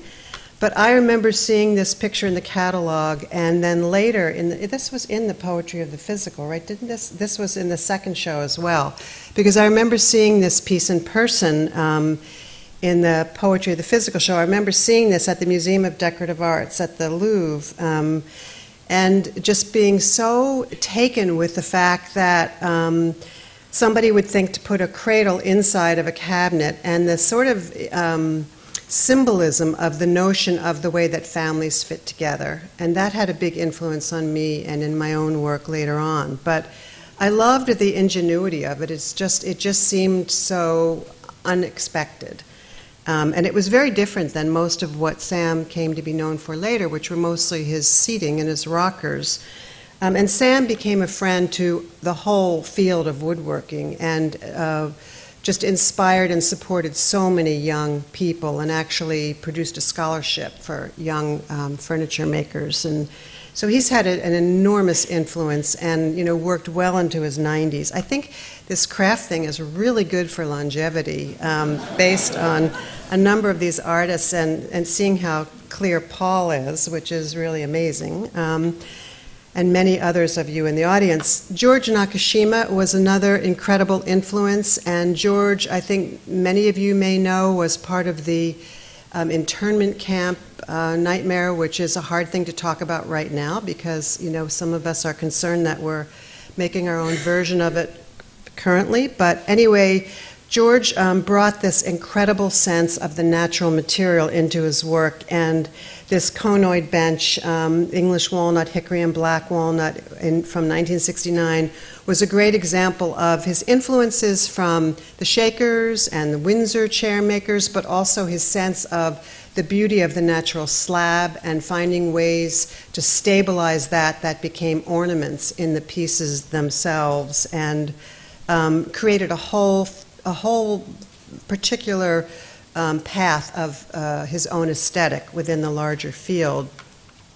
Lenore Tawney was another artist who was very interesting um, to me because she um, she was really approaching her work, as was said earlier, as a fine artist and bringing what was um, really blurring the boundary between craft and fine art. She was very good friends with Agnes Martin. As you can see, I think they had a kind of similar um, interest in the way that they approach their work together. And um, she uh, lived in Paris and in Africa, North Africa, and Europe, and studied um, weaving at the Penland School of Crafts. So, again, there's this connection with a lot of these artists with Penland and other places, as well as universities. And um, in 1957, she decided to move to New York City from Chicago, where she was living, and devote herself to weaving. And um, she said that she left Chicago to seek a barer life closer to reality without all the things that clutter and fill our lives. Now, I was surprised to hear that she moved to New York City. I could have suggested maybe some other locations, but she did move to New York. And um, she was um, part of a, of a neighborhood with neighbors like Robert Indiana, Ellsworth Kelly, Agnes Martin, as I mentioned. And um, so these artists had enormous influence on her work, and it showed, I think, in her work uh, in a way that really kind of anchored it in a different uh, part of the craft world. And um, in an interview, and again, longevity, shortly before her death at the age of 100, she remarked that the first hundred years were the hardest. Um, Bob Stocksdale and Kay Sekimachi were also a husband and wife team. Um, she was a fiber artist, and he was known for his beautifully turned um, bowls and trays and wooden objects. And um, when I w- in 1979, I got a kind of interesting job working for. I was working for Fine Woodworking at the time, which was a magazine in our field and I was um, in California, and I got to go up the whole California coast and then take a right at the top and come back home, visiting every woodshop along the way of a known maker. So I was able to visit J.B. Blunk and, and um, Maloof and all of these incredible makers. And I spent quite a wonderful visit with, the with Bob Stocksdale and, um, and with Kay. And uh, it was so interesting to see. He lived in this completely cluttered environment, and um, and I've known students like this too, who you know you walk into their studio space and it's just a disaster. You don't even know what you're looking at or where to find it, and out of that mayhem comes this absolute jewel object. And and he was one of those people that was the, the lathe was, you know, in a, just buried in sawdust, and out of the basement in this kind of modest shop came these ex- extremely eloquent, beautiful objects. And um, Kay, similarly, and I think the cross influence on them in the sense of the delicate scale and proportion that they used in their work had a great influence on one another. This was um, woven um, with nylon monofilament in 1968. And so rather than going through a lot of the artists in um, the show, because I think you've gotten um, to see a lot of that, I wanted to sort of pull forward some of the ideas that I saw as elements of um, really transformational thinking in this early show, and then talk about how those same ideas are being addressed today with just a couple examples of some, some contemporary artists' work. This is Lothar Windels, who is now the head of the furniture department um, at RISD. And this is his Joseph chair, um, which is, um, it, has been made in um, many different colors. It's industrial felt.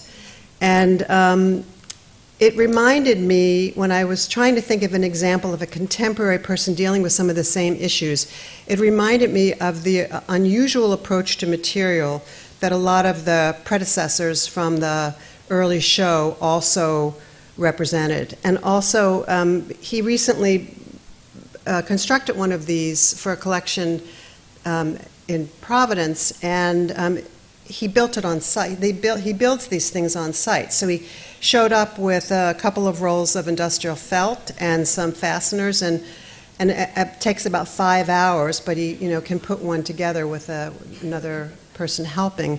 So the ingenuity of the construction technique is something that is as ingenious as the um, material, the use of the material.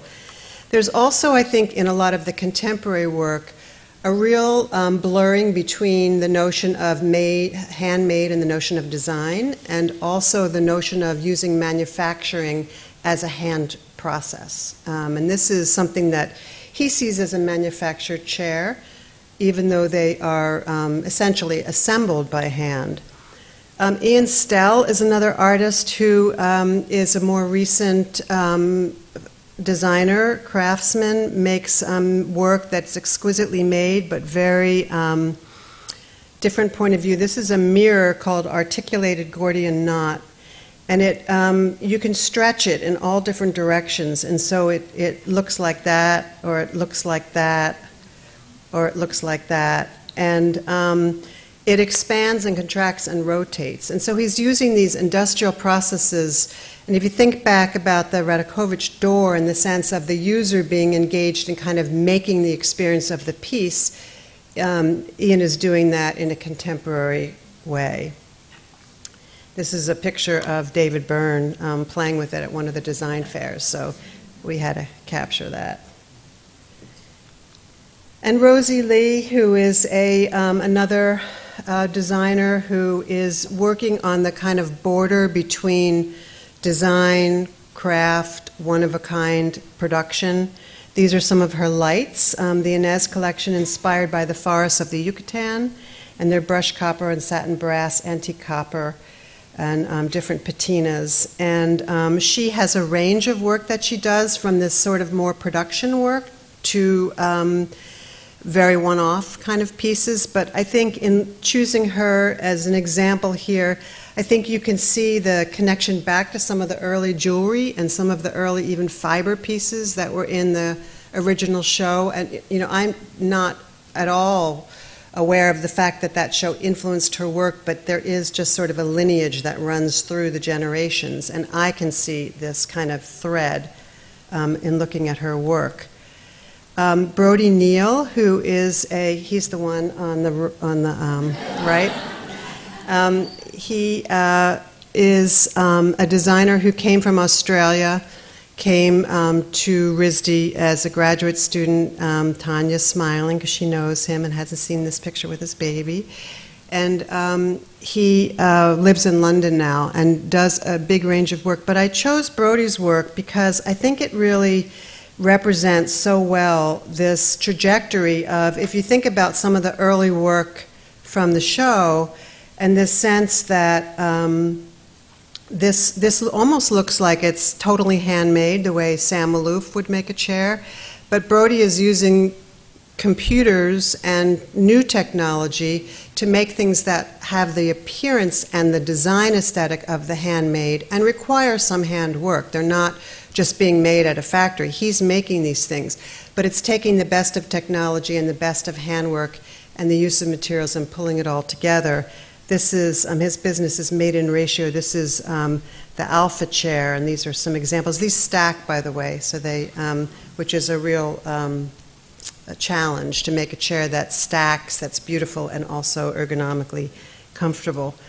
And um, this piece is also Brodie. It's um, contemporary rendition of a 19th century specimen tabletop, and it's called Gyro. And the materials, and it's quite large, it's probably about 60 inches in diameter.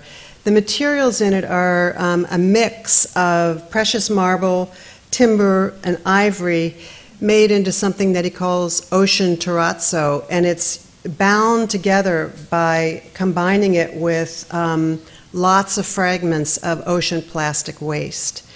And um, one of the things that I'm so excited about with this new generation of artists is that they're really using their platform to talk about issues of politics, issues of gender, issues of identity.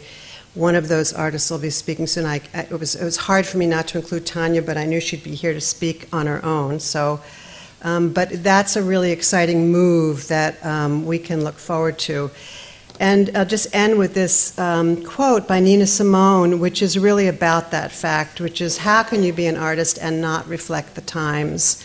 So the artists of the original show were so much about moving their field, moving their time, moving society, moving their culture, and artists are continuing to do that um, today, and I think always will. Thank you.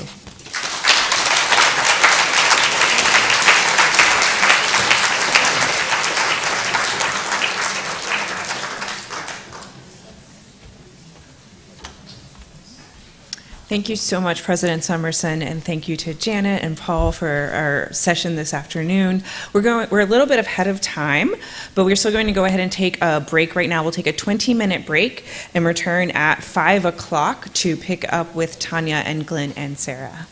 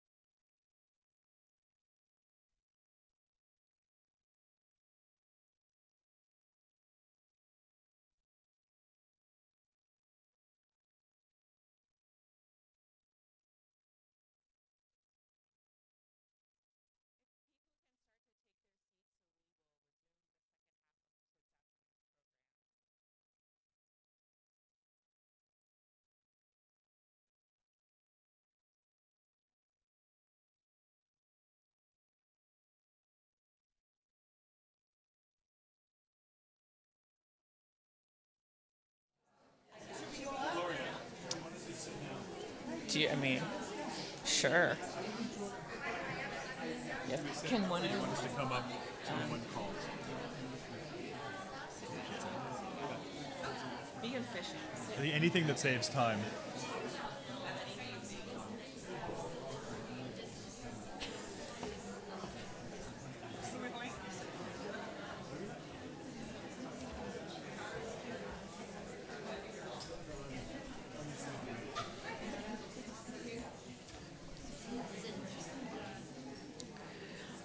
Before we resume for the afternoon, we found a pair of glasses in the lobby uh, during the break. If you are missing a pair of glasses, they're at the information table in the lobby. So um, you can go fetch those.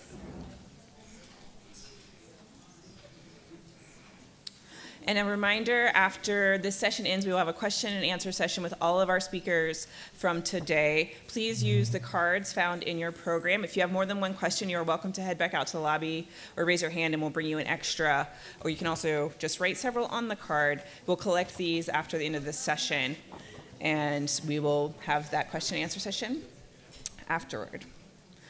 And now I am delighted to welcome Glenn Adamson, Sarah Archer, and Tanya Aguiñiga to talk about Objects USA.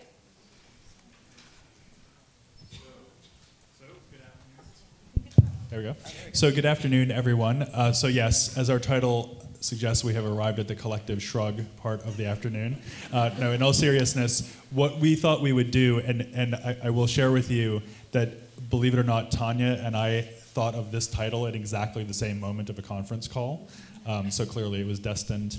And what we thought we might do is interrogate the two primary terms from the original show and how they feel today. So we'll get to that in a minute, but first, uh, in case there are some few of you who have not been so fortunate as to encounter Tanya's work previously, we thought it would be great if she could explain a little bit about her practice, which we'll also be using as a kind of point of reference and inspiration for our conversation. So, Tanya, please.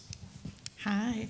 Um, so the images that are in the back are images of some of my work, and they're going to be rotating on their own during our talk so that you're not confused. It's all my work. Um, and so I, uh, I live in Los Angeles, and I was um, raised in Tijuana, Mexico. Um, and I cross the border every day to go to school in the US.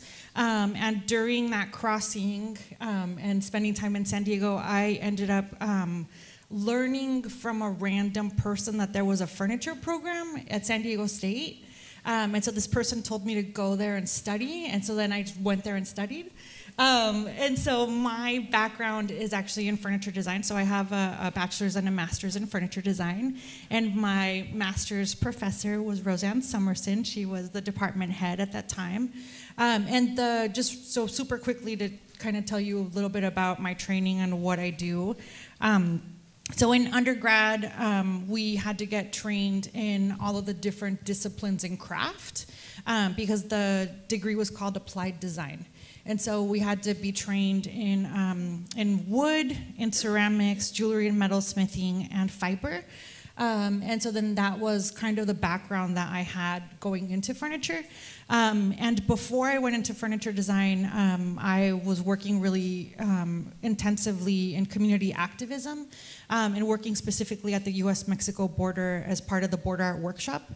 Um, so now it's been 22 years of me having worked in craft in general um, and in community activism, um, and very specifically through um, border work and migrant, um, migrant rights work. And so a lot of the work that I do now um, focuses on how to combine and how to activate craft as a starting point for conversations that lead us into larger um, issues of human rights um, and identity and gender and all of these different things. Um, so a lot of the work that we do at the studio, the studio is all female. Um, we have, for the past, I think probably like seven years, been uh, really focusing on fiber uh, more so than furniture. Okay, great. Thanks, yeah. Tanya. So um, what we thought we would do, as I said, is, is talk about each of these two key terms. And so, Sarah, I'm going to ask you to start off with objects. But before, um, before you uh, launch into that, I just wanted to make a kind of simple observation, which is that for almost everyone here, Objects USA doesn't actually exist as a bunch of objects in a room that we saw and experienced. And so I'll just speak from my own experience that when I was in graduate school, I encountered the book, Objects USA, and all the pictures and texts in it, and it really became the Bible for me as, a, as an aspir- aspirational craft historian. And just parenthetically, I did want to say to Rosanne that if she ever gets tired of running RISD, we craft historians would love to have you because you clearly have a lot of skills in that regard.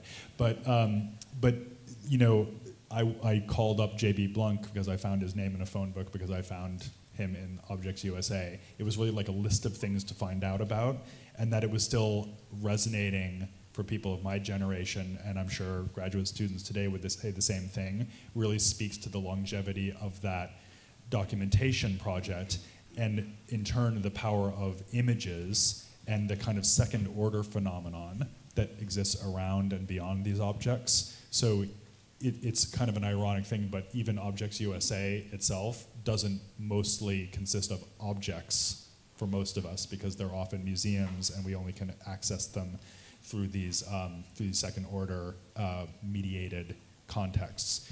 Um, so that, that's sort of maybe an appropriate lead in to the uh, conversation about objects now and what an object is in 2019 that it perhaps wasn't in 1969. So Sarah. Yeah, uh, is this, yes, hi everybody. Um, one thing that I found interesting about the presentations is that I think it was only Paul who mentioned that Objects USA was pre-computer. And when we were, uh, you know, kind of creating Google Docs and having conference calls talking about this event, we were sort of thinking, okay, 1969, 2019, and the two sort of standout things were, of course, the moon landing and Objects USA. That's, you know, what any American would immediately say um, about that year. But to think about the time period that that brackets is so interesting vis-a-vis technology, because you have things like um, the fact that the Muse Museum of Modern Art, uh, some years ago, maybe 10 years ago, acquired a symbol so it, which is not a physical object that you can hold in your hand. Um, Objects USA for most of us is a book, right? That you can, that's the, the, the, tangible piece of it. And I think there's been, for people of sort of our generation-ish, um, I was actually uh, sort of at the Bard Graduate Center before craft was invented there. Like you sort of couldn't really study post-war studio craft, as strange as that sounds now. Um, I just missed Catherine Whalen, so I was kind of, um, you know, kind of studying Islamic art and writing about the Civil War and not totally clear, as you can probably tell from that combination, what I was going to do. So I really learned studio craft by being an intern and then an assistant at MAD and working on the show that would eventually become uh, Crafting Modernism. So I think thinking about not having had the kind of academic background uh, ahead of time, sort of encountering these things and kind of thinking um, the, the time period was so much about the mass market, and so, uh, uh, you know when viewer sort of museum goers would um, be used to a kind of Levittown, Woolworths universe where mass market goods were cheap and abundant, um, to thinking now, craft often is a way of signaling and sort of to use an, an, academic word, problematizing who made this, like in Tanya's work, thinking about where does this fiber come from? Um, if something is made of hair, why? And a person in the general public, I think in 2019, is much more likely to look at a work of art and say like, oh, I wonder why that artist used upcycled t-shirts. I wonder what that's about. What does that mean? Similarly, we're much more apt to do that when we're shopping, right? Like we're much more likely now in 2019 to say like, mm, do I really want to buy a t-shirt at Target when I know that it was made probably in non-ideal conditions and that the environmental cost of it might be too high? Do I want to pay more? So I think that there's one of the big shifts around objects probably has been um, th that kind of questioning of how something is made and what that being an artistic gesture, and that probably one of the legacies of Objects USA is that it went a long way toward bringing this material to a very wide national audience and kind of starting that conversation. So, so I guess um, you know one thing we could say is that the excitement around objects in the late 60s, and as, as uh, Janet, I think, rightly said, it was a term that was in vogue. And it, it reminds me also of words like work mm -hmm. or sight or even the word interesting. So these kind of placeholder words that people tend to use a lot in the art world, particularly because mm -hmm. they are so inspecific. They kind of are helpful for sliding past things. And it, it helps when you don't know what you're talking about. I mean, to, in yeah. fairness, like if you're not totally sure, like I'm working on a project and I'm, I don't really know what this is, it might be social practice, it might be craft, it might be both. If you call it a work, you're, you're good to go. Or a project. Or a project. Right. Yeah, yeah. So a kind of intentional vagueness. Yeah. But, and so object has that kind of quality to it. But then also there's this sense that we have now, very urgently, that the world is full and every object is an additional burden. Mm-hmm. So I know Like, that you mean environmentally? Yeah. environmentally particularly, um, but also in terms of the commodity spectrum and sort of who wins and loses when every object is brought into being. And I know Tanya, that's a really present concern for you in a lot of your work. So I was wondering if you might talk about the object from that ethical point of view in a way that might be might not have been so much in people's minds at the at the time. Yeah. Um, so for me, there was a lot. It was really difficult to even go into making objects and even to go into um, like well just anything artistic. And so then I landed in like furniture and like functional art because I had I was too guilty. I had too much like class guilt of what does it mean to labor on something and then in the end have it be something that's for a luxury market. Um, so that's kind of how I started, um, yeah, like learning about like functional art and getting involved in it. Um, and it really wasn't until I had a child um, that I started allowing myself to make things that were non-functional. Um, just because I started thinking about, you know, what it means to birth another woman, um, and what it means to have a practice that has that is part of a legacy. Um, and so in school, um, undergraduate and grad school, we were always really aware of like who our professors studied under and this larger uh, legacy that we were now becoming a part of um, through craft and through working with our hands. Um, and after having a child, I started thinking more about like what type of doors am I opening for this person to be whatever they want to be. Um, and so a lot of the issues of identity and a lot of the issues of um, of like politics and all and, and everything is just um, like ways to to push the discipline of craft forward, um, but also a way to leave behind a better world. And particularly when you've uh, given birth to a person who's going to have a forward trajectory into that hopefully better world, into Yeah. that future. Can you say a little bit more about the class guilt thing? That Yeah. sounds that's a really interesting phrase to use about your own work. Yeah. Uh, can you just say more Um, about that? Yeah, so um, like I said, I grew up in Tijuana, which is in Mexico on the border. Um, and I crossed the border every day to go to school in San Diego, which mean I would leave the house at 3.30 in the morning to be at school by 8 a.m. Um, and this was, I was in public school, so I had to use fake addresses to be able to stay in the US going to school. Um, and all of this is just because you can have a better life if you get paid in dollars, but you spend it where things are cheaper. Um, so there's like, I think it's 10.5 like million of us just in the region of San Diego and Tijuana that do the crossing back and forth um, every day. So my parents did it for 40 years, and then I did it for 14 years. Um, and so my dad was a ship grinder. So uh, he worked on battleships, and he would get hoisted over the battleships with a 40-pound grinder stuck to his body, and he would have to grind the welds down on the boats with his body.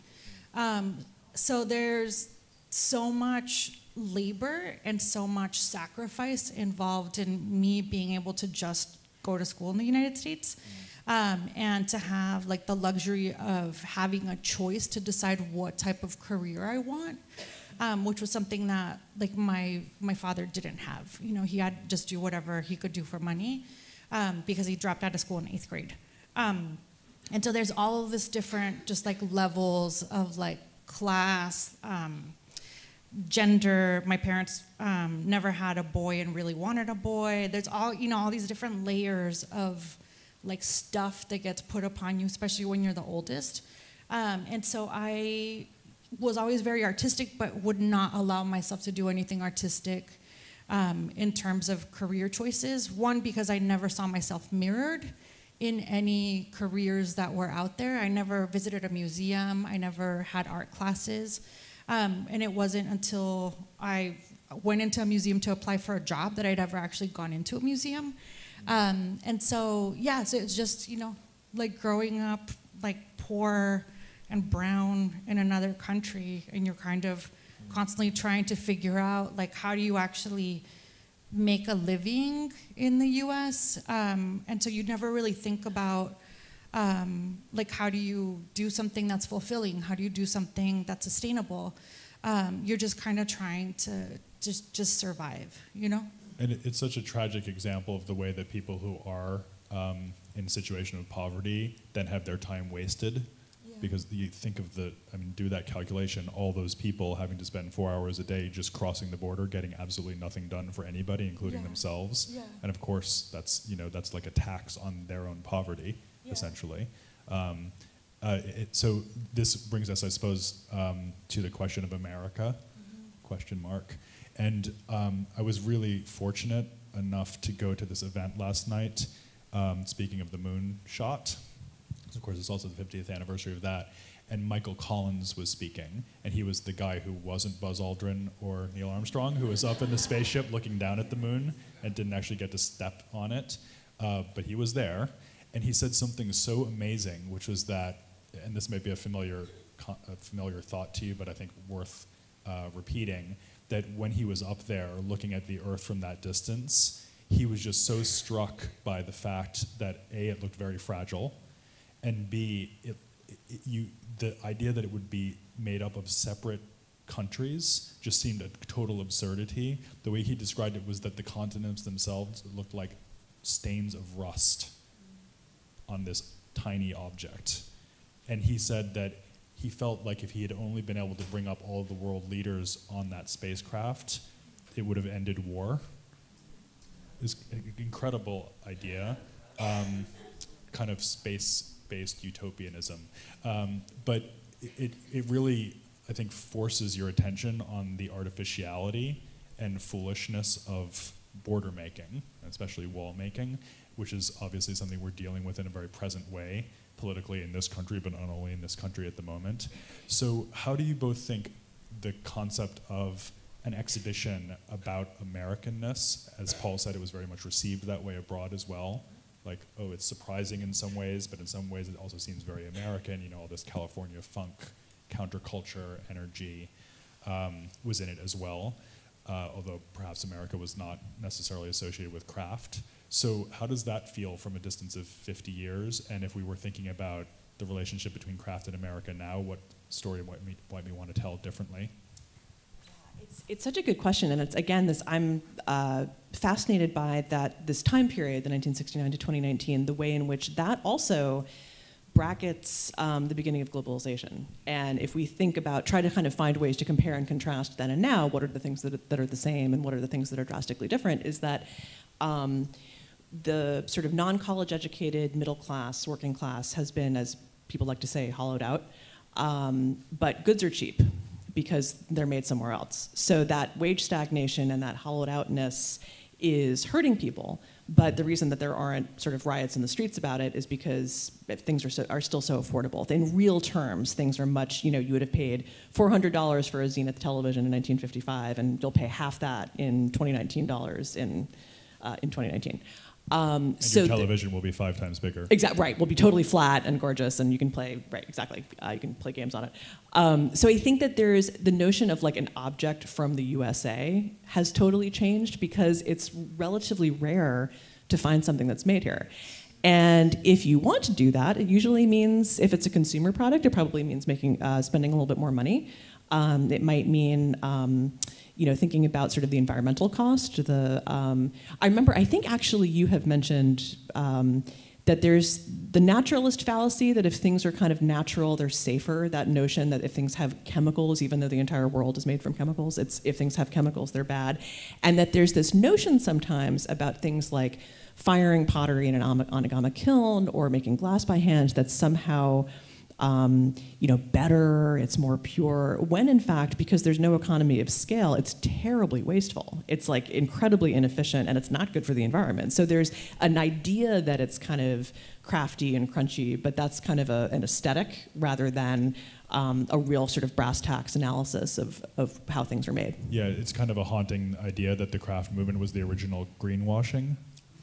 I hate to say it. Yeah. I hate to say it, but I think that's not off the, off the mark. Obviously, not in any intentional sense. No, def- I mean, I think very much in, a, in a, a utopian way. I mean, I think you were talking about, you know, moon, sort of moonshot utopia, that this was the era of communes and, you know, I'm going to leave the city and start new and, you know, there's, um, everything is so divided here. Um, that sounds familiar in 2019. Um, so I think, yeah, that definitely is. And what do you think about the question of geography? So if we're thinking about um, America as the scope of thinking about craft, which I, I think um, maybe has already been implied by what we've said, but that doesn't seem to be the instinct these days. The instinct is much more towards the global and towards connectivity. Um, so that's one issue. And then, as Rosanne said, there was all this regional contrast, and still is regional contrast in Yeah. the craft um, scenes of America at that time that, um, if anything, people seem to be more interested in, like the Appalachianness of the Appalachian story of Penland, for example, or the Southern Highland Guild, or the Californianness of those woodworkers and, and potters. because it's also craft as lifestyle. But I think also in, in the time since then and now, there's there's you know um, a ghetto potter, right? There's we have an urban aesthetic, um, kind of a, an African American or a Latin Latinx. Is that how it's pronounced? Latinx um, aesthetic, and that's embraced and celebrated as it should be in very prestigious institutional context. It's kind of hard to imagine that happening in 1969. Yeah. Um, Although, as, as Janet rightly said, Objects USA is astonishingly inclusive. That's true. That in retrospect, it's for true. its time. Yeah. Um, I think even now it probably is much more inclusive than a lot Than of some, art yeah. shows that happen in big museums of that scale. Um, not just in terms of gender, but also in terms of ethnicity. In terms of So- ethnicity, yeah. So Paul and Lee r- deserve a lot of credit for that farsightedness. Yeah. Um, Tanya, what do you think about this issue? I mean, these questions about borders and Americanness are so fundamental to your work and life, but can you try to uh, sort of condense your feeling about it? Again, thinking about what's happened in the last 50 years. Um, yeah, I think for me, um, even like looking at Objects USA and thinking about like how I think about the United States, like it's so like everything's constantly like from like the like lower 48 view. Um, like there's a lot of so I've spent tons of time working with um, Native Alaskan artists and stuff, and um, uh, Barry, who's in the audience, and I uh, for Wood Surf um, just came back from Puerto Rico and got to know a lot about like their identity issues and how um, yeah the U.S. has controlled like the way that they see themselves. Um, and so I think about um, like in general, I think that the craft scene has maintained this like exclusivity of it being still pretty like white, like Anglo dominant, like Western looking, um, where things are like very like like looking towards Europe, very colonial, like a lot of col- like colonial settler mentality approach to stuff. Um, and so I feel like um, it's an issue that I had brought up during um, one of the craft council um, uh, conferences. Um, that for the most part, those of us that are like outsiders, so people that are like people of color, people that are um, that are native, we get brought in when there's public programs, but we don't usually get collected by museums, exhibited by museums at the same level that even a white woman would. Um, so it's um, it's still like I think that there's a lot of issues that we're working through with craft. I think that craft has given us um, like the people in my generation and the people in the gen- generation that I teach. Um, it's given craft has given us a lot of ways to subvert these conversations and um, and like even like if you think about Objects USA, like it's not queer at all, and craft now is very queer. Um, there's like so many different things that um, just yeah like with identity and and um, lack of representation for otherness um, outside of just lifestyle um, that is now happening. And would you say that a lot of those values, like queerness would be a really good example, these uh, values that we're now being encouraged to think of as intersectional as well, do you think that they're also implicitly or inherently transnational? Yeah. That would be my instinct as well. Because it, it seems to me like, um, just philosophically, if you embrace queerness as a craft value, that doesn't really feel like something that should be embedded in a, in a nation's story. It feels like a more human value. And so, this idea that a, that a boundary is like a knife cut through humanity, right? That seems, that seems very allied to a lot of the currents that I feel are happening in craft at the moment. Um, can I just shift the conversation to another question where maybe these two things about the object value and the nation value intersect, which is in this uh, in the area that Paul alluded to, which is about soft power and the degree to which Objects USA was, in fact, um, and I don't mean this critically, but it was just factually speaking a corporate branding exercise, and then it was also very much embraced by the American government um, and American media, like the Today Show and Barbara Walters, as something to hold up as an exemplar of what America could do and maybe should do more of. Um, which make, again makes you think of the space program, which was also used in that kind of diplomatic way.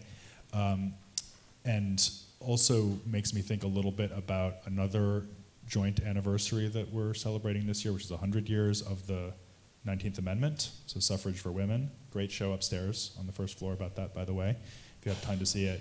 And also, I think there's been less said about this, maybe because the chronology is a little less fixed, but it's also probably the 100th anniversary of the Harlem Renaissance this year, because it's often thought to have started when the returning, um, the 369th Infantry uh, marched through Harlem, and it was an all-black unit, it was a segregated unit. And so that's, that's often thought to have ignited the sense of neighborhood pride that became the Harlem Renaissance.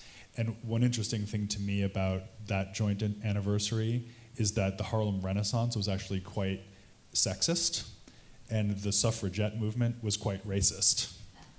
So you have, if we're thinking about intersectionality and how wasn't power their strong suit, intersectionality. well, and you can understand why, because of course writers like um, Richard Wright or James Weldon Johnson, artists like Aaron Douglas, uh, black jazz musicians, they were aspiring to a level of um, acceptance and you know authority that had previously been withheld from African Americans. And so they felt like they had enough on their plate. And similarly, the white suffragettes thought, well, we can't fight two civil rights movements at once. So, you know, why make our jobs any harder? And it's a fair question. Why should a minority feel like they have to fight for another minority when the rest of the culture isn't? Why is that their problem? That's obviously a deep philosophical, ethical question. Um, but to get back to the topic at hand, I feel like there's a whole set of issues there when you start thinking about intersectionality versus um, demographic sectors that um, soft power can often try to cover up through these semi-mythological narratives around Americans all being one, you know, pluribus unum and all that. And so those seem like really, really raw, difficult issues that we're all working through at the moment. And I wonder what, in a general sense, you all, what you both think craft can do in that situation where we are being encouraged so much to think about identity politics, where it does feel very divisive and oppositional at times. Do you have a sense of optimism about craft's role in that kind of a context? Tanya, do you? Yeah, I definitely do. Um, and I mean, I, I kind of don't have a choice but to. Um, because it's what I do for a living. So, um, but I feel like within like the community of others, um, like within again like the like peop, like the POC community, like people of color, um, and like Native and Indigenous community, and like within the queer community, um, we're all constantly looking for ways to collaborate and to help each other. Um, so that you know you kind of like constantly think about like we're all in this together, like we're all like in this country or on this world together. Like let's share resources, let's figure out ways um, that we can piggyback on stuff. Um, and so within that, there's a lot of hope. Um, and I think, and again, like seeing yourself mirrored in other like positions of power and in um, knowing that the burden of making this place better is it just on your shoulders. Um, and so I think that's, that, that's one thing that is constantly happening like in craft because we're constantly having to like re like brand craft um, just because the way of making a living through craft is constantly changing. Um, like, you know, when we were students, there was like actual like studio like galleries that people made money off of. Um, and then with the internet, all of a sudden, like a bunch of people were making money on like Etsy. And then, you know, there's so many different things that are constantly happening because of technology um, that I think within that we're kind of trying to find what's the stable ground um, that we can like together like help each other through. Yeah, it's interesting that um, craft also has had this real um, a, a very significant role in activism in the last few years, and the most famous example is the Pussy Hat, which of course itself has been critiqued from a ethnic point of view, like why are they all pink, you know, um, which seems to involve a kind of white normativity. Um, but having said that, it seems to me anyway that craft often in what you might call a crowdsourcing context is a way of encouraging a level of commitment and involvement that an online crowdsourcing function, which is just a matter of pressing a button, just can't do. And even when you think about a protest march where all the banners are handmade, you know, like the protest banner lending library is a great example of this, um, led by Aram Armand Sifuentes. Um, where people are encouraged to get together and you know actually forge the tools of their own political sentiment. Um, that that does seem to have an ongoing relevance in the 21st century, and that again is a very. it doesn't feel like it's the kind of object that was in Objects USA because you know the pussy hat is not an object. It's a format. It's an idea. It's a proposition. Um, the other thing you're, you're getting to is the vernacular, which is sort of sometimes the thing we don't want to address in, in this craft context, because the battle that Objects USA was fighting was partly about getting this kind of material into museums and galleries in a prestigious setting and intersectional in its own kind of way. Like, we're as good. You know, encyclopedic museums are full of tapestries and carpets from hundreds of years ago. This can be there. Lenore Tawney can be there. And having to fight so hard understandably for that legitimacy that somebody who's you know kind of a, a, Sunday knitter, if that's a thing, knitting a pussy hat, um, you don't want to be lumped in necessarily with that person because you've studied and worked and perfected your your skills. So I think that relationship is kind of a superpower and a curse that craft has because it's something that I've noticed when I write about something craft related in a very mainstream publication that's not arts focused or, or craft related at all is um, you know still feedback about its its irrelevance or its its sort of association with the hobby industry and that sort of thing. And I think one exhibition, as an example, to point out. Um, which you should see if you're in Philly before mid-August because it closes soon, is um, Monumental Cloth, The Flag You Should Know, which is at the Fabric Workshop and Museum in Philadelphia now by Sonya Clark. And it is inspired actually by an artifact that is in the Smithsonian. And it's the um, tea towel. It is literally a dish towel, like a waffle weave dish towel, that was used uh, for lack of any other white textile at Appomattox to signal surrender. And her kind of thought experiment for this project is, you know, what if that was the symbol we all knew? What if that was the symbol that we associated with with the Confederacy, and instead of the Confederate battle flag, right? Instead of that, which is the one, unfortunately, that every and she does, there's an amazing piece that's all text, that's a list of objects you can buy with that emblazoned on it, all of whom are probably made in China, one of which includes like a yoga mat. I mean, it's the craziest thing, but it's fascinating. And it's a tea towel. Everybody can relate to that. So I think looking at a, a project like that is brilliant because it's conceptual, it's very sophisticated, it's complicated. Weaving is very complicated, but it's not hard to understand how amazing it is that that's where this artifact came from and that it, it absorbs things. So it's metaphorically very rich. I love what you said about craft's vernacular basis being both a curse and a superpower. It is. Which is actually yeah. very related to what you said about class guilt.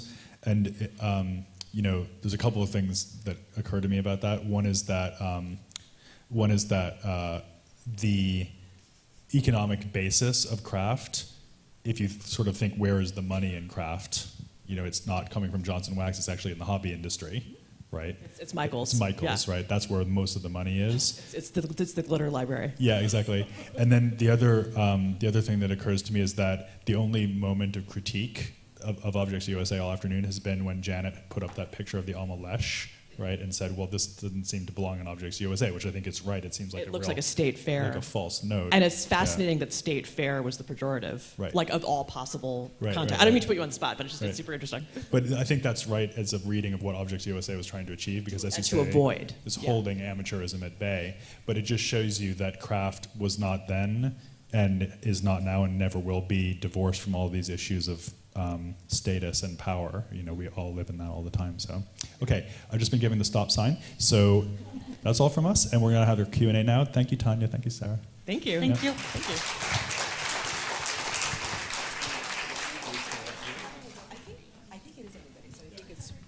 Every, yes, um, it's all of the speakers. If you could, um, send up your comment cards in the aisles, Ryan, um, our program staffer will help collect those. And, um, so Paul and Rosanne and Janet, I invite you back up. I will have chairs and microphones for you.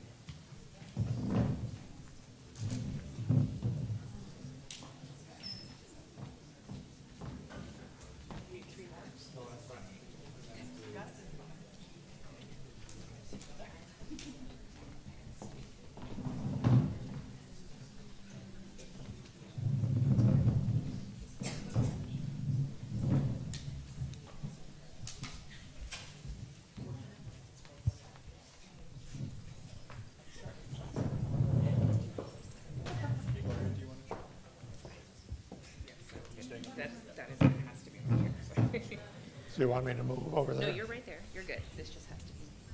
I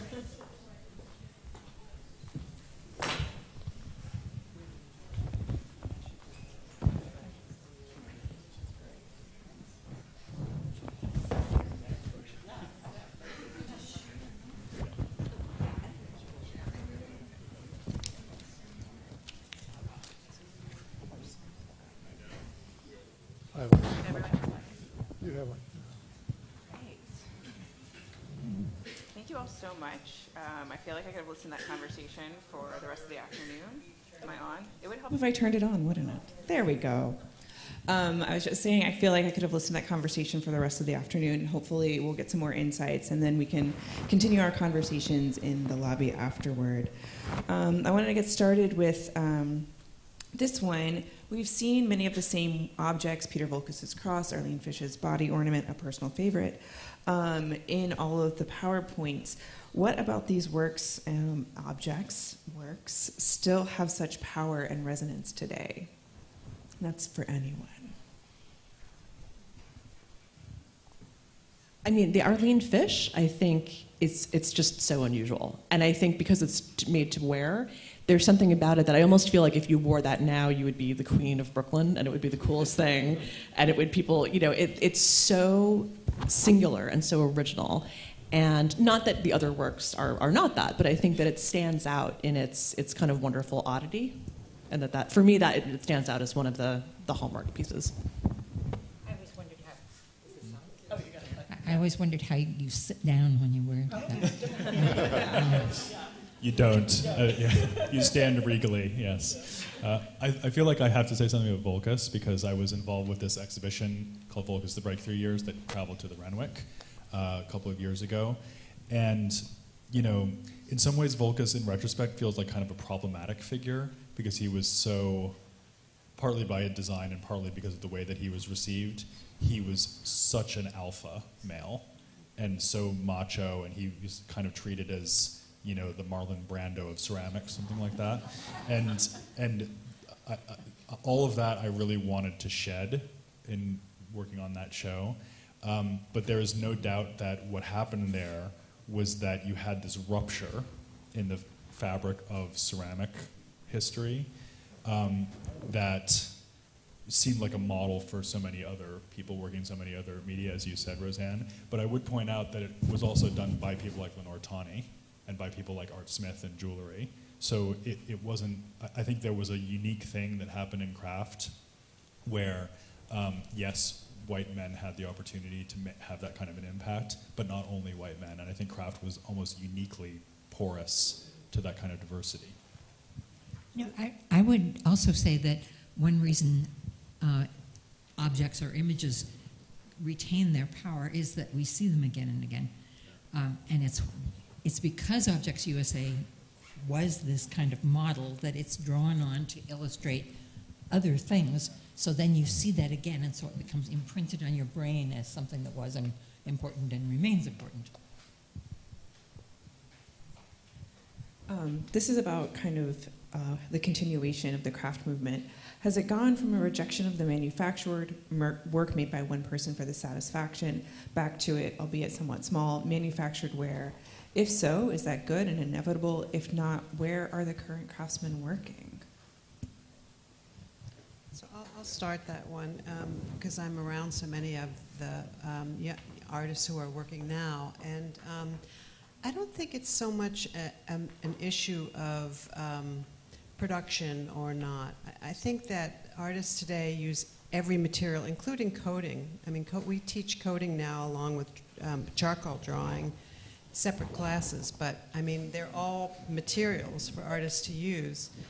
And um, I, I think more the issue is um, something that was alluded to in the panel is about the notion of practice, practice in the sense of having a practice. So the difference between a kind of hobby view of knitting a, a pussy hat and the idea of someone who, like some of the people in the show, worked in the studio in a medium for 100 years or, you know, 60 or 70 years. And with any kind of um, art or writing or any kind of practice, there's a certain kind of expertise that comes out of that kind of commitment to a practice, regardless of the material, the techniques, that's different than um, a dabbler. And so I, I think the, for what I'm more interested in is in understanding the notion of not so much the process, the production, or the materials, but actually the commitment to a medium or to a art practice and how that reflects in works that have a long lasting um, impact. There are exceptions, of course, that you can always find, but over time, um, for me, in watching a lot of younger artists start and then become you know, successful artists, it's those who, who don't have a choice. They're just committed to what they do because that's their métier, that's how they have to speak. There was this wonderful. I don't know if you remember the movie Il Postino, which was a film and uh, about a young poet who's trying to, who's a mailman, is trying to learn how to write poetry to someone he loves, and he delivers mail to Neruda, and he asks Neruda how. Um, why he uses poetry to say what he's trying to say and he said if there was any other language i'd use that you know and i so i look at artists' um, practice as a way of evolving a relationship with ideas that develops over time. And to me, that's another definition of craft. I feel like that's an excellent one. Um, you touched on this um, a little bit in your answer just now, and, but we can also, you don't have to answer, we can open it up to everyone. What about 3D printer construction and computer design as craft? Can there be some sense of universal beauty involved with craft rather than identity and I'm sorry I can't read your some artistic message. Well, new technology is being used already. I mean, 3D printing and, you know, a lot of people design on a computer. And what is also interesting historically is that the Jacquard loom was the predecessor to the computer. and the computer is now the vehicle for designing textiles. So you have to be open to incorporate all of these these things. And it was very, very interesting to me this week in relation to this big event that uh, uh, Apollo uh, landing on the moon. Uh, that uh, the um, so there were two uh, programs where three women who hand sewed and made the spacesuit I was so fascinated with that because I, and they were interviewed about the extensive technology uh, or requirements of that suit and, ter- and but the fact it was hand sewn, handmade, and, and I, it wasn't included in Objects USA. but one has to be open, I think, to all these different things. I mean, I, I, I think that. Uh, there's always going to be something uh, new. And, but I think just one comment, maybe not in relation to this, is that thinking back to that the 60s era, um, uh, it, it, was very, uh, so much of what was happening, there was such a cultural change motivated by young people. Uh, and and their, their energy, anything was possible. And something like the landing on the moon symbolizes that to one extreme, but also all the kind of things that were coming about. And, you know, the, what people wore, the hand-dyed T-shirts and the decorated jeans, were saying, this is me. so it, it, there was, there's a whole kind of cultural connection as well as a technological connection that's involved with all these things we do. And it's not just with the craft field, but with, with all the arts and music and whatever. But uh,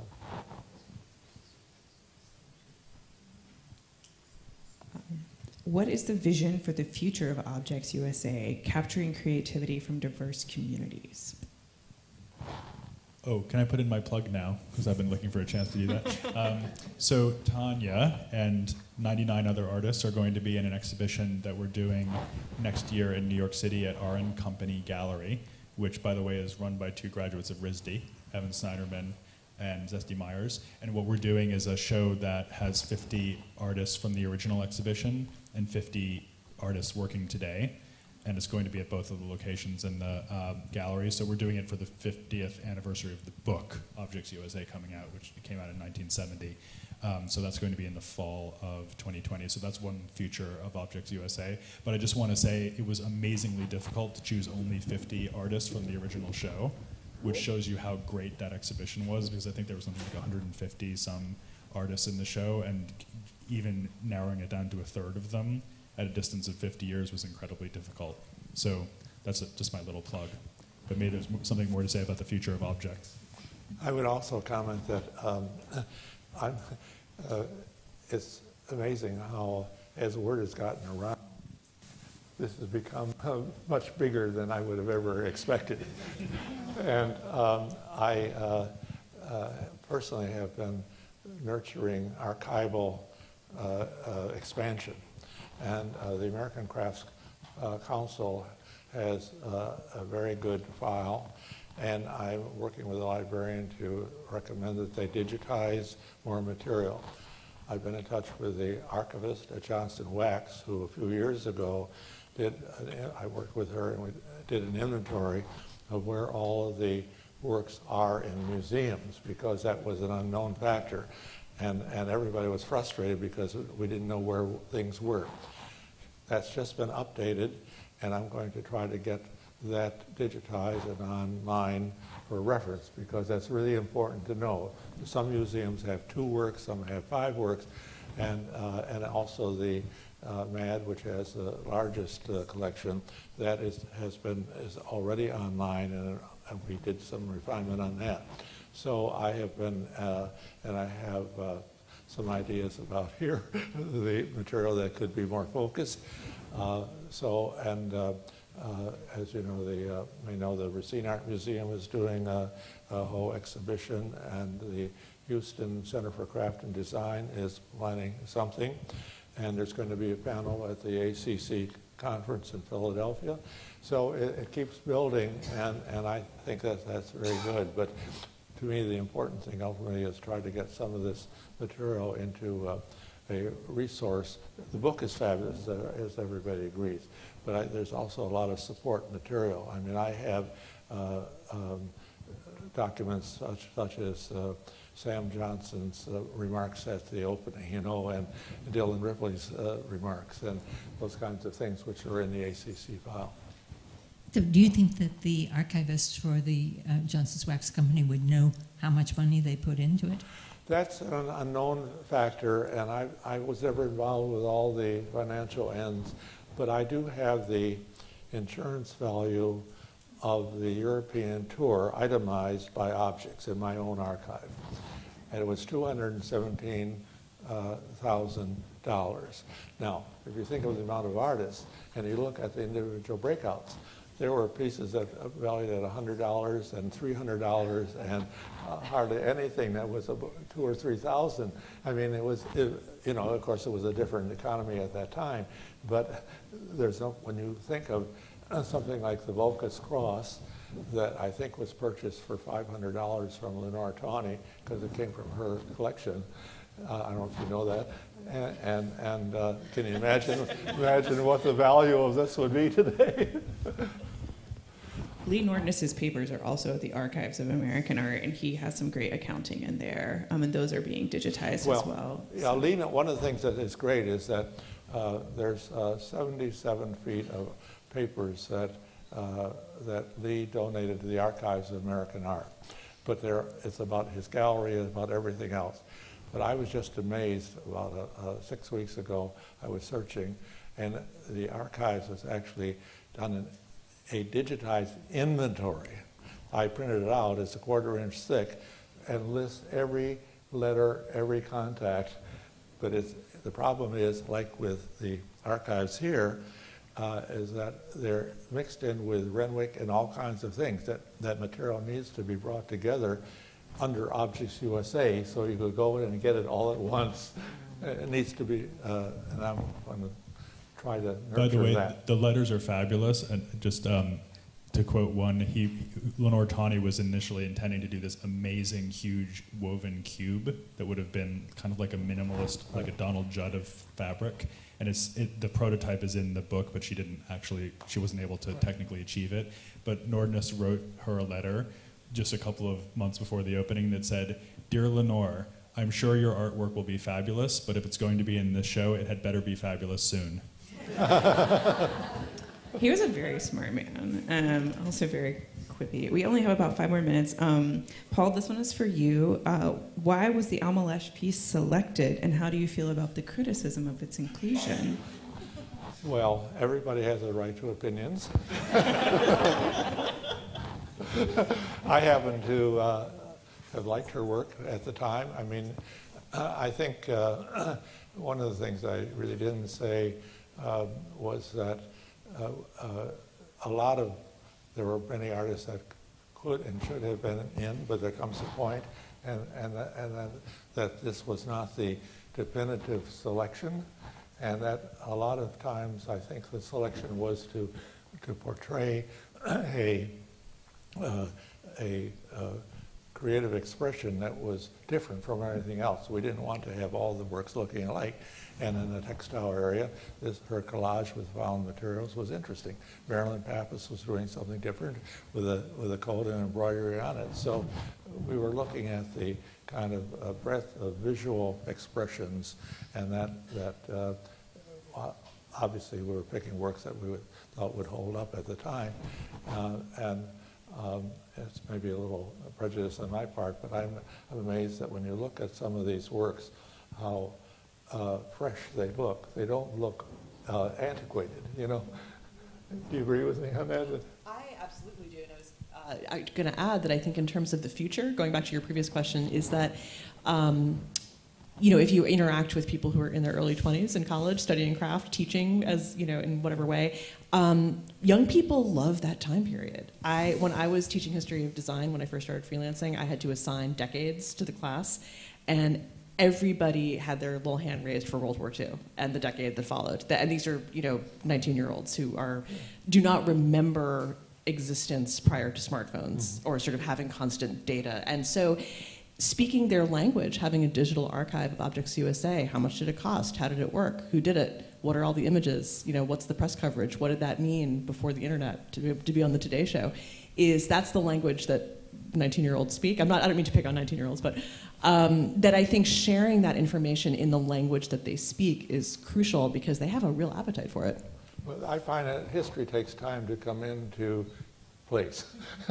and having been part of history now, I, weekly I get inquiries from somebody, not only in America but all over the world, about an artist or something, and I have to I dig up and have material. But I'm uh, what is interesting is an enormous amount of passion among some of these young people who got very excited about. I have one, a, a Parisian, who is doing a whole thing on photo media and is doing a whole study on, on that show. And, and I can't, I've had about 10 long phone calls and, and uh, conversations with her over that, and, and uh, it never ends. I mean, she's still writing her paper. So the fact, that, but the, what is interesting is the fact that the uh, a generation of, of that distance is suddenly being very interested in mid 20th century history. And I applaud mid 20th century history because I think so much happened at that point, and I think we're going to find, not, not the show, but um, uh, the, that whole uh, activity that took place having increasing historical importance like the arts and crafts movement or Art Nouveau or whatever. Whatever it's going to be called, I don't know. But I, I think it's going to have an increased interest because so much interesting work happened in the, whatever you want to call it, category. But it, it, it really is something that, when I'm really speaking to the fact that history takes time to come into focus, and then you begin to see it in the context of, of another uh, landscape, such as this event today. I think, uh, oh, sorry, just real quick. Um, yeah, so I got into making furniture because I lived on top of a mid-century furniture store, um, and me and my friends would just find all of these old books like at the thrift store, and it felt like a recipe for the future. It felt so hopeful and so empowering, um, just to know that you could look at anything that was made by humans that looked like I don't know, like machine made or whatever, and that you really could just take that and make it your own. And I think that's so much of the power of um, the objects in the book too, is that they're all so innovative um, that it makes you feel like anything is possible. Yeah. Yeah, I was going to say something, and that's actually a good lead-in about the way that um, this younger generation consumes things, and there's a great difference um, in ownership. You know, that people don't own cars anymore. They use Uber. They don't even own apartments or buy houses. There are all these transient ways of living now that are very attractive for many reasons to a younger generation, but they do consume books, and book the, the, the incidence of book publishing has gone way up. They also um, visit museums in, in large numbers. So it's interesting to think about this legacy carrying on in other ways because it is wonderful to have the books and the archives and the materials, but it's also important to experience objects in person. And, but I don't think that this generation, uh, there are not young collectors in droves, you know, forming. They really want to see things and not own them, and not maintain them, and not, you know, conserve them. So it's an interesting thing, I think, to think about the future legacy of objects in terms of those conditions. As a young person, we don't have the money. But that's a different conversation and a different symposium. Um, thank you all so much for this wonderful panel, for all of your presentations today. This has been really special for me um, and really exciting. Thank you all so much for coming. Um, please let's go have some wine in the lobby and continue to talk about Objects USA and what the future looks like for collecting and objects and craft.